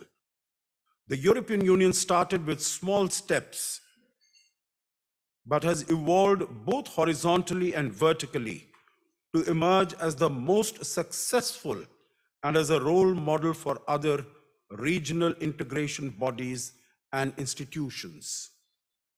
Similarly, the unification of East and West Germany in the early 1990s is a bright example to seek inspiration from to unite the North and South Koreas. Although these models are significantly different from the situation in the Koreas, I feel that there are several elements that are common and the European experience can be put to good use to expedite the process of the Korean reunification. Friends, four years have already elapsed since the first ever summit between the South and the North Korean presidents to, uh, was held. While both Seoul and Pyongyang have placed unification on the agenda, neither side has produced a concrete plan to get the process going. Given the gargantuan disparities in domestic political systems and economic development between the two countries. It will be essential to combine the two economies justly and fairly in a step by step gradual manner, making sure that the South Korea's far larger, larger economy does not overwhelm that of North Korea. Systematic, gradual cooperation would be the only way to go forward to keep stable and expand the economies of the two countries. Seven decades of separation have created major differences between Seoul and Pyongyang, which many of the earlier leaders have also alluded to. The downturn in inter-Korean ties over the past years has adversely affected South Koreans' views towards unification. But a majority of more than 60%, I understand, citizens of the country still see this outcome as necessary. A reunified Korea will be a huge factor of peace, stability, and security in the region and the world. It is essential to provide a fillip to peace in the Indo-Pacific region as already several flashpoints like the security of Taiwan, of East China Sea, South China Sea have emerged in the region. In the area of economic development also, the reunification will, pro will provide a huge impetus to economic growth and prosperity in the region, as well as globally. This is particularly imperative today as the global economy has received a body blow in recent times due to the COVID-19 pandemic, due to the Russia-Ukraine conflict, and the China-Taiwan tensions a secure and unified Korean peninsula was, would ease tensions that have been prevalent throughout history, but have got even more exacerbated recently between the big powers, including the United States, China, Russia, and Japan. If Korea is unified and becomes more stable, it will no longer be an object of contention that other countries can take advantage of. North and South Korea are still at war, and peace has only been maintained because of a ceasefire armistice signed in 1953. In addition to this war mindset, recent provocations from the North continue to prompt South Korea to spend increasing sums of money on military expenditure for its defense. Reunification and peace process across the 38th parallel will obviate the necessity to increase the military expenditure of the two Koreas and other countries in the region. Friends, India is the land of Hinduism, Lord Buddha, and Gandhi. All of them stand for and strongly espouse peace and harmony amongst the peoples of the world. The philosophy of Hinduism is Vasudhaiv Kutumbakam, which means that the whole world is one big family. There should be no enmity, no hatred, no discrimination or inequality between the different religions, languages, ethnicities, and nationalities in the world. India enjoys excellent relations with the Republic of Korea, both in the political and strategic, as well as economic and commercial spheres. India also maintains a diplomatic presence in Pyongyang. India stands ready to play its due role in bringing the two countries together. Friends, in conclusion, the global community needs to come together to support the project of reuniting the Koreas. I'm confident that the deliberations at this conference today and day after tomorrow will throw up many useful and practical ideas to achieve our common goal. I look forward to continue to stay engaged with the GPF in realizing this commendable objective. I once again thank the organizers and you, Dr. Moon, for getting us all together and for inviting me and wish the deliberations of the conference all success. Thank you very much.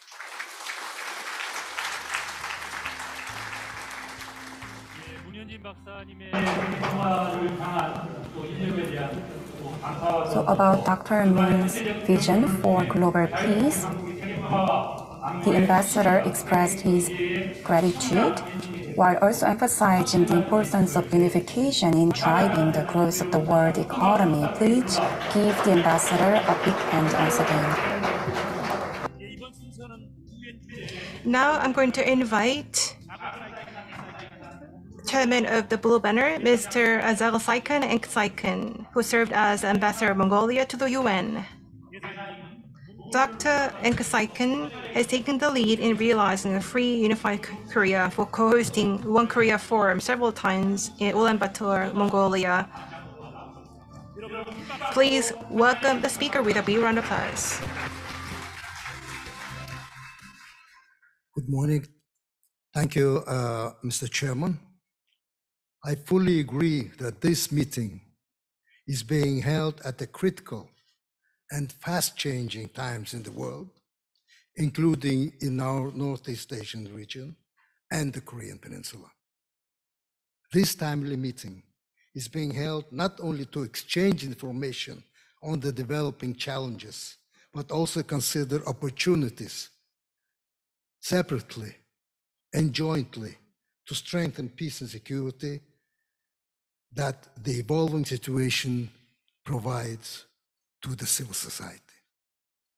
It is from that point of view that we Mongolians will be participating in this forum. We fully support peaceful reunification of the Korean nation, seeing it as an important factor for regional and global peace and stability, and contributing thus to common security for all.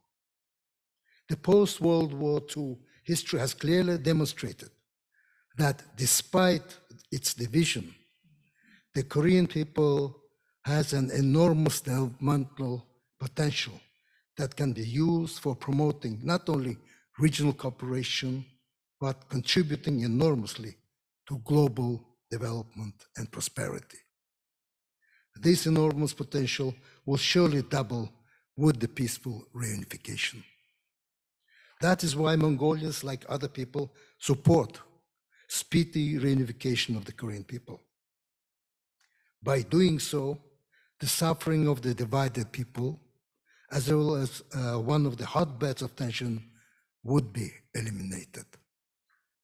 It is time to look forward and see how such peaceful reunification could be achieved based on the will of the entire Korean people.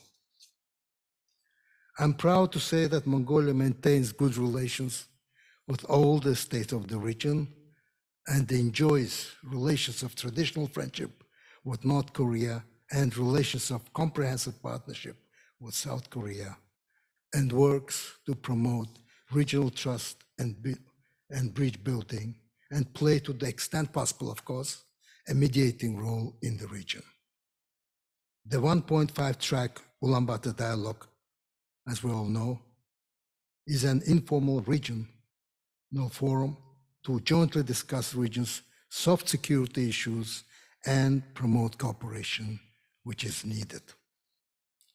In this nuclear area, Mongolia's nuclear weapon-free status is widely recognized and benefits from the joint political security guarantees provided by the five nuclear weapon states to it. Its experts, that is Mongolia's experts, as IAEA inspectors have experience of working both in North Korea and Iran.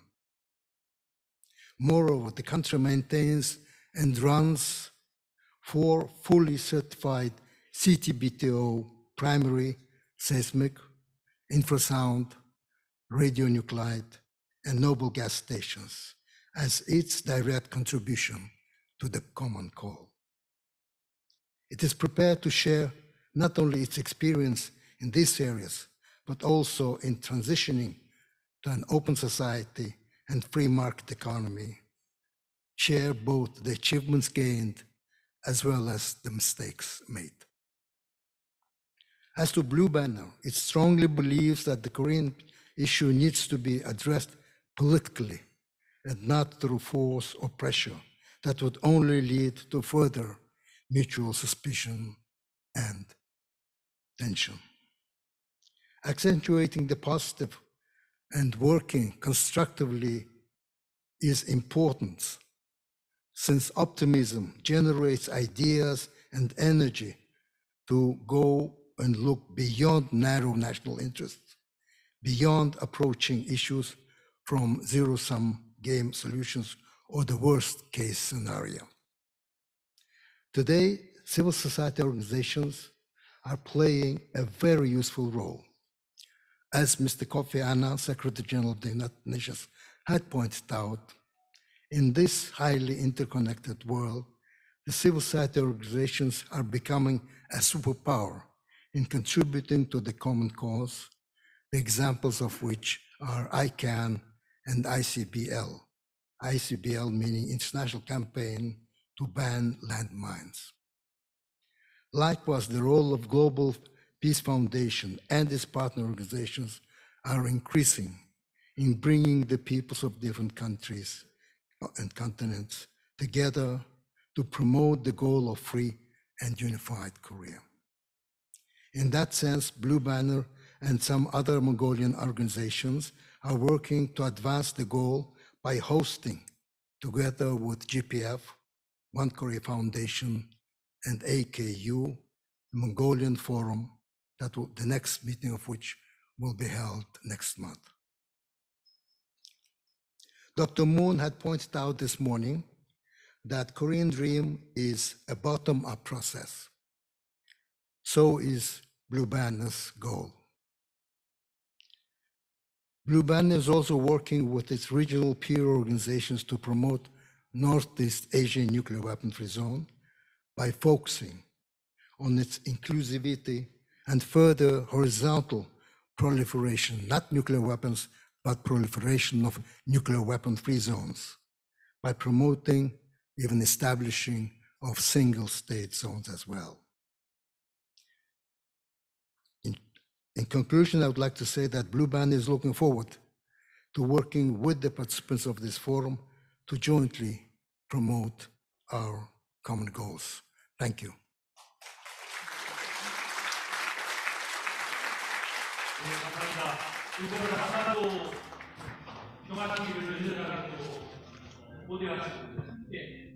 Thank you so much uh, for your great efforts and hard work Our Ambassador Enkhsaikhan, please give me a brilliant applause for encouragement and gratitude.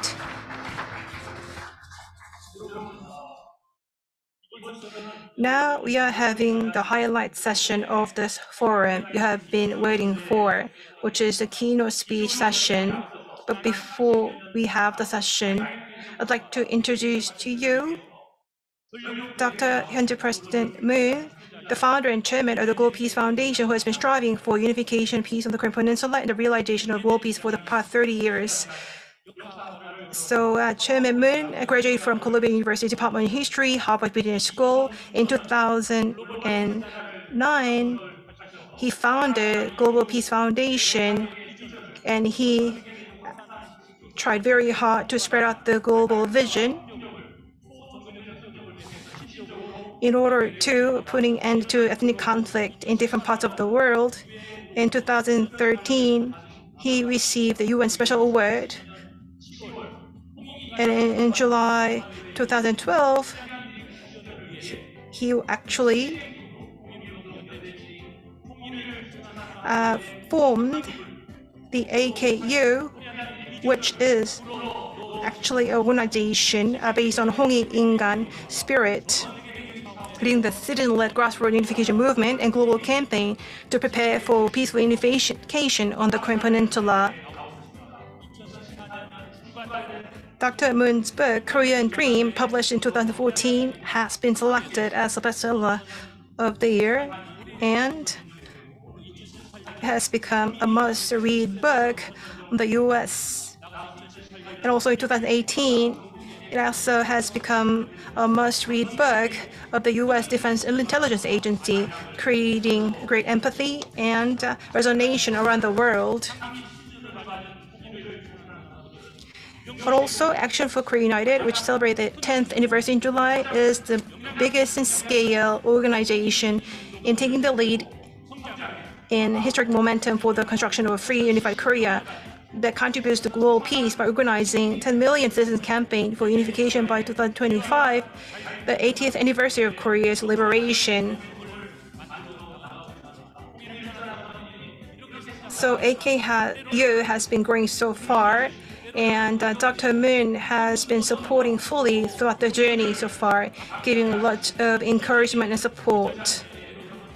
And let us uh, give Dr. Hyunjin Preston Moon a big round of applause for expression of gratitude. I'd like to invite Dr. Hyunjin Preston Moon, who has presented the Korean Dream, a vision of a unified Korean peninsula, and has consistently supported and led those who practice unification, a citizen-led grassroots unification movement over the past 10 years. Please give a big round of applause to Dr. Hyunjin Preston Moon with great uh, respect and gratitude. Distinguished guests, ladies and gentlemen, let us honor the uh, distinguished speakers. I know it took a long time, but let's give them another round of applause.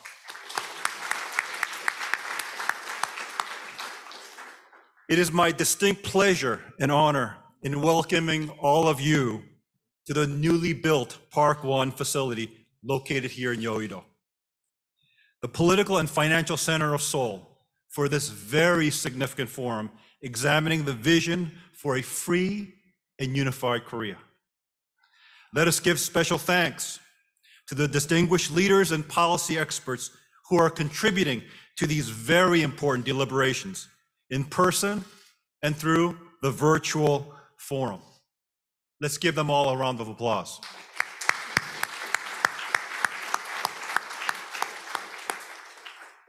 In a few days, we will again commemorate the end of World War II in the Pacific, and with it, Korea's liberation from Japanese colonial rule.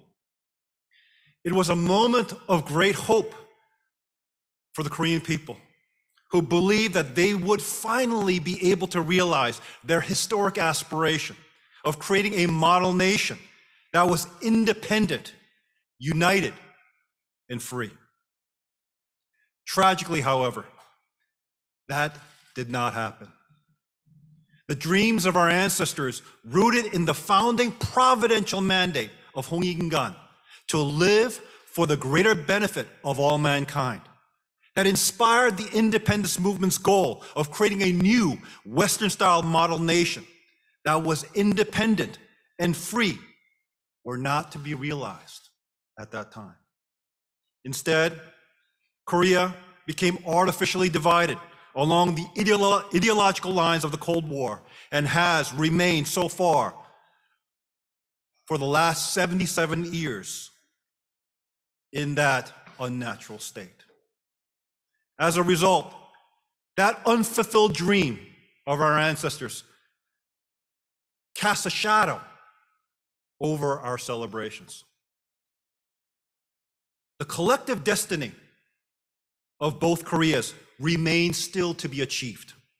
It is even more urgent today, given the current volatile and threatening geopolitical circumstances in Europe and especially in this region.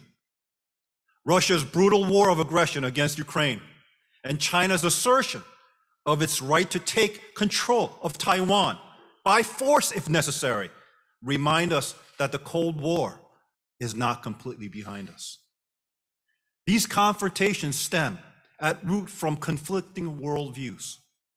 It is important to note that although Russia and China have adopted elements of the free market economy, both nations uplift the power of the state above all else with little regards to the rights of their own citizens and even the rights of their neighbors. Unlike all Western democracies that were shaped by or that had adopted the Judeo Christian ethos that emphasized the sanctity of human life, created in the image of God, Russia still maintains the political philosophy and aspirations of the Soviet past, couched in a new Russian nationalism, while China never abandoned the Maoist revolution or changed its one party communist rule.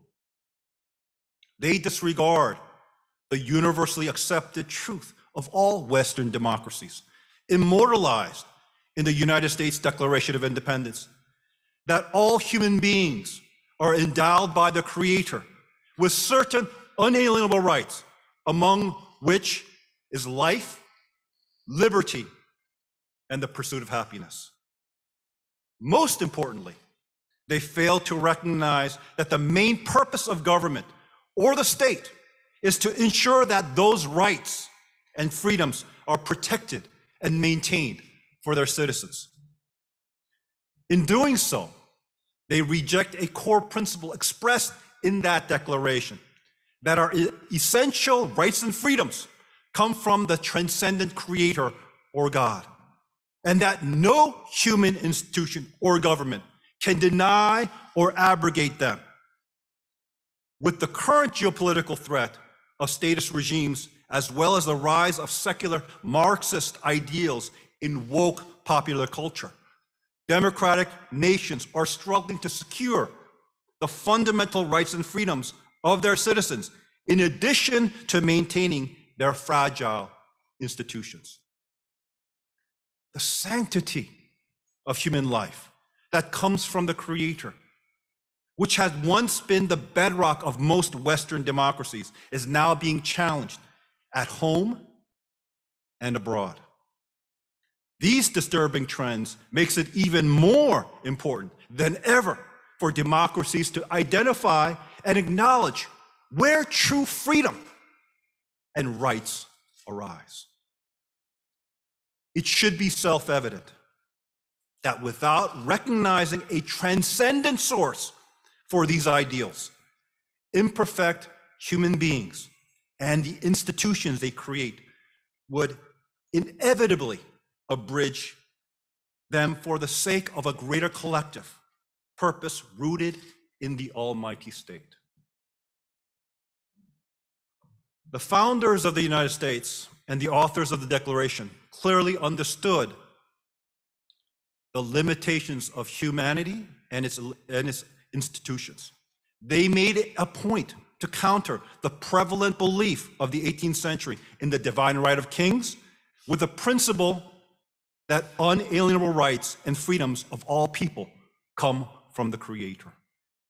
In essence, the founders countered human claims to ultimate authority with that of God. This truth, that fundamental freedoms and rights come from the sovereignty of God, has endured the test of time and has allowed Western democracies to thrive. Without the acknowledgement of God's sovereignty as a source of fundamental rights and freedoms, serious problems arise. A good example is the UN's Universal Declaration of Human Rights that does not recognize the Creator as a source of those rights due, to its creation during the height of the Cold War. Consequently, the United Nations cannot deal effectively with authoritarian and statist regimes that decide for themselves what rights and freedoms their subjects are allowed and what they are not allowed. The two Koreas represent the most extreme example of this confrontation between the democratic South and the statist dictatorship in the North. The DPRK is a nuclear armed state whose leadership has sacrificed the well being of its people to achieve that status. There is no doubt that they would use force to unite the peninsula, for they were the instigators of the Korean War in 1950. That technically still has not ended. Here, as well as on other fronts, geopolitical uncertainty has intensified, increasing the danger that a false step or miscalculation could lead to a major escalation in catastrophe. This is certainly true for North Korea, where the geopolitical situation is exacerbated by internal tensions. The regime has long sacrificed development for its idea of security, foisting extreme hardship and deprivation upon its people. As a result, there is a real danger of food shortages producing famine on a scale rival to the catastrophe of the mid 1990s. People in the DPRK today no longer live in a cocoon, however, with no information from the outside world. The current generation of North Koreans has experienced the freedom of, of enterprise and choice, however restricted, offered by the Jangmadang informal markets. They watch TV dramas from China and South Korea and do not accept the propaganda that, however harsh their lives might be, those of their southern brother are even worse. The regime fears the confluence of a more informed, less unconditionally loyal population with greater hardships. This is something that all of us need to be aware of, especially in the last several years when there was the potential of conflict between the DPRK and the United States. Who did the North Korean regime fear more in terms of a threat to them? Was it the United States threat of potential military conflict? Or was it an uprising amongst the North Korean people? The situation is very different from 10 years ago, let alone 20 years ago. This is something that we have to keep in mind. Its reaction is typical of authoritarian regimes under pressure, enforcing tighter security at the border with China and cracking down on those accessing foreign media. When loyalty is replaced by fear and the general population suffers increasing hardship, the situation becomes unsustainable. Change is bound to come. We just don't know when or in what form it will happen. The Korean people today face two major challenges unifying their divided homeland and rediscovering their Korean identity. The two are intertwined. Once we understand that unification is not just about the dealings of governments, but is the coming together of a separated people, then it becomes clear that a strong sense of Korean national identity for both Koreas is essential for the Korean people in the South and in the North to be able to reunite. That identity has been eroded in the North through 77 years of oppression and hardship, but it is also disappearing here in the South. After the devastation of the Korean War, a total national effort was invested into developing the economy and securing the country against another invasion. That produced remarkable prosperity, but we now see that it came at a significant cost. The Chaebol system that originally drove growth has become a drag on fresh, new entrepreneurial organizations and companies. Highly educated young people suffer debilitating unemployment, and many can no longer even afford to get married. To navigate this uncertain future, a clear national purpose is essential, but has been tremendously lacking. To move beyond the stagnant, stagnant status quo, a new pro- approach is needed with a broad vision and a movement to advance it. That vision, I believe, is the Korean dream. As I explain in my book of that title, to build our future, we need to learn from our past. Before the tragic 20th century, before the ideological conflict between communism and democracy, and the bloody division it produced, Koreans shared a 5,000 year history as one homogeneous people with a common culture. That culture was rooted in ideals and principles that arose from the founding spirit of Tangun. Foremost among the, these were the ideals of Hongik Ingan, living for the greater benefit of all mankind. From that very beginning of our history, the Korean people held to the moral vision that embraced all people. This was their providential mandate, and to fulfill it was their destiny. Throughout their history, Koreans have embraced different faith traditions that have come to this land. But our ancestors always digested those traditions and gave them a unique Korean character rooted in the Hongik Ingan tradition. They recognized Hananim, one Lord or God above, whatever the variety of their religious expression.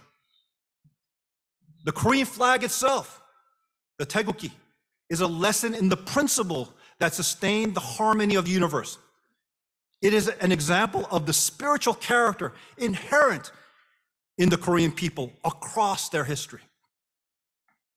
This is the shared heritage of all Koreans, North and South, that transcends the current ideological, political, and national divisions. It is the root to which Koreans in both North and South must be reconnected to provide the vision and energy that can reunify a separated people.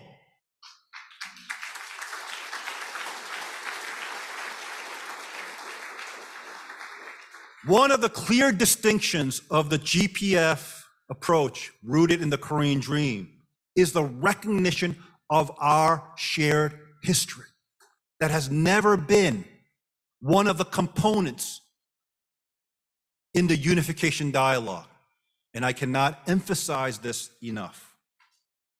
Arising from this history, the Korean dream promise is for a free and unified Korea, a new nation in which the fundamental God given rights of all people will be secured under the sovereignty of God.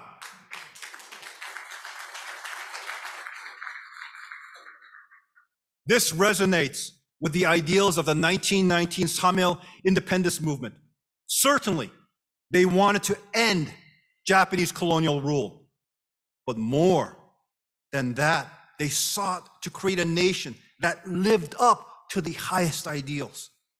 They even envisioned a free Korea working together with Japan for the benefit of the region and the world. Here was the spirit of Hongik Ingan in action and the aspirations of the nation united around it. The end of World War II brought the end to Japanese colonial rule that we celebrate in August 15th, just two days from now. It also brought the opportunity to create a free and unified Korea, the Samil independence movement had longed for. UN mandated elections were to be held in 1948 across the whole country, but they never happened. Despite visits by Korean leaders from the South to persuade Kim Il sung to work with them for a united Korea, he and his Soviet sponsors at that time declined to hold elections in the North. They were held only in the South, and shortly thereafter, two separate states were founded, a division that lasts till this day. The aspirations of the Samil independence movement remained unfulfilled. The separation of the Korean people has persisted far too long. The current status quo cannot endure. The situation on the peninsula is the final remnant of the Cold War and a dark legacy of former colonialism. It is long past time to unify the peninsula, and the Korean dream is the way forward to forge a new and better future. The Korean dream can inspire and motivate Koreans in both South and the North to reconnect with their unique identity and heritage in order to take ownership over our common future. At the same time, it offers North Korea the prospect of becoming part of a united and independent nation that enjoys great prosperity as well as fundamental freedoms and rights. Most importantly, it will safeguard the Korean homeland from an increasingly aggressive and powerful China and Russia.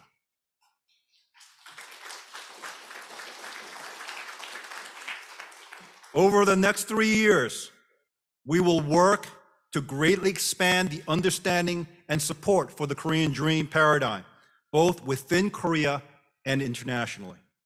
This initiative already has significant momentum through Action for Korea United, an unprecedented coalition of nearly 1,000 civil society organizations working collaboratively to promote a free and unified Korea.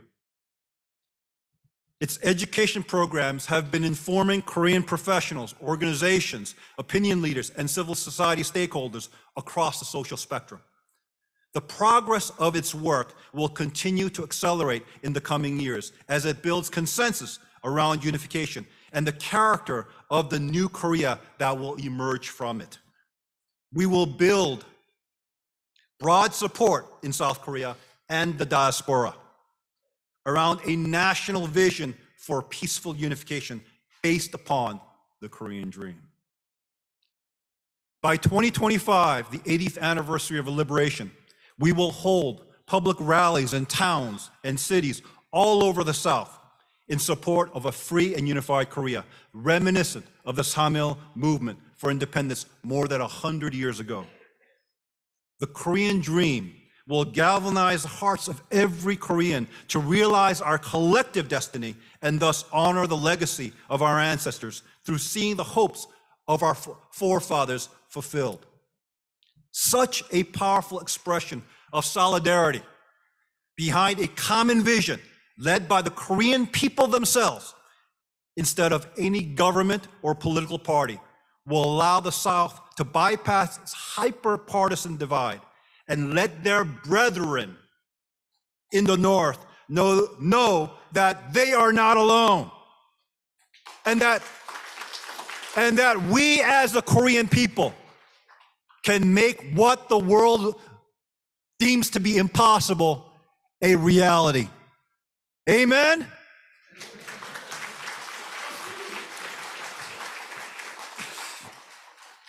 This is also a very another di- distinction between the Korean dream paradigm and every other effort for unification. It's a bottom-up approach. This will be the expression of a truly bottom-up movement of the people beyond national and ideological divisions and thereby be a catalyst for a greater international recognition and support. I call upon every Korean everywhere, young and old, at home and abroad, to take ownership over the Korean dream and help this movement come to fruition.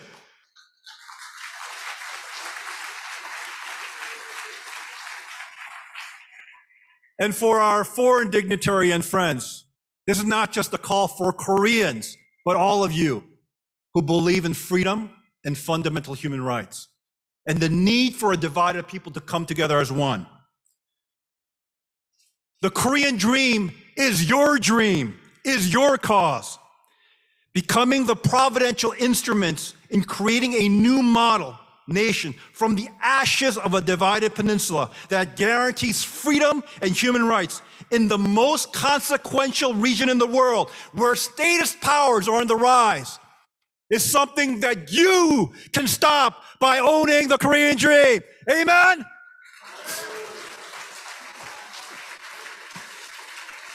In short, Korean unification will be the most monumental achievement for world peace and will spark the light of hope and possibility for the 21st century.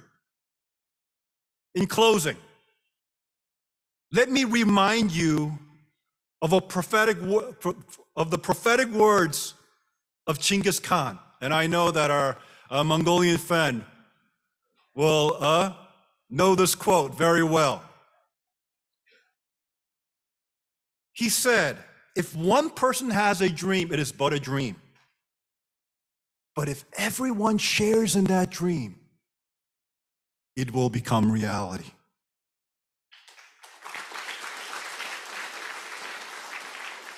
Ladies and gentlemen, by each and every one of us owning the Korean dream as our own personal dream, let us realize the providential destiny of creating a new nation together as one Korean people.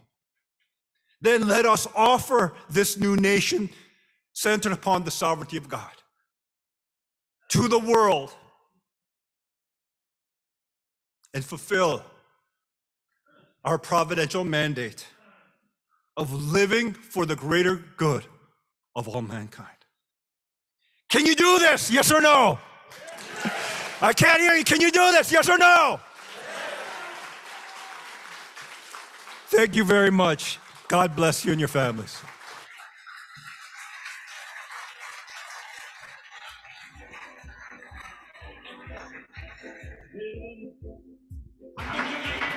That was such an impressive speech. A big round of applause of gratitude and encouragement. So, Hong Inga, the spirit has been penetrating for 5,000 years. By achieving Korean Dream, we are to achieve the vision of unified Korean Peninsula. And uh, he actually asked for the participation of all leaders. So with a desire for a peaceful and unified uh, Korea, Dr. Hyunjin Preston Moon has been working so hard so far with great passion. Let us give him a big round of applause of gratitude and uh, encouragement. Another round of applause, please.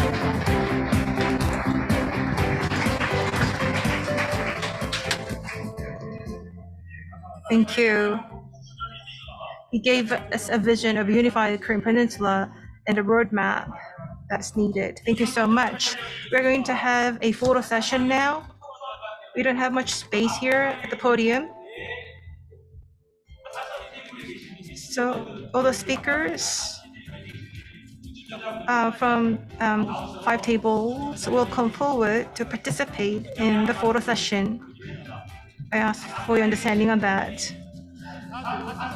So the leaders and the speakers from the front row, which is the five different tables, please participate in the photo session. Thank you.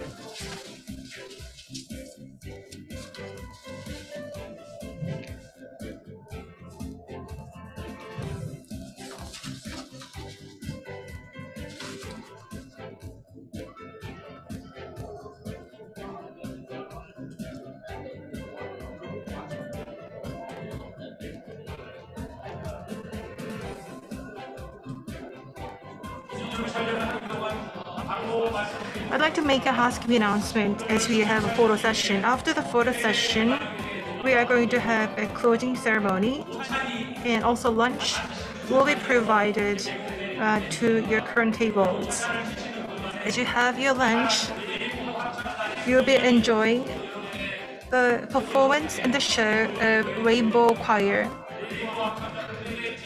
It is Korea's first choir of children from multicultural families in Korea. Has been active in many different occasions, um, including the 20th presidential um, inauguration ceremony and the Roman Vatican and UN headquarters. So the choir has been very active at home and abroad. After the luncheon, the peace and security session will be held here from 1:30 p.m. I'd like to ask for your active participation and support. And on YouTube and Zoom at 8 o'clock tomorrow, today and tomorrow, breakout sessions will be aired to 40 different countries around the world. So please tune in.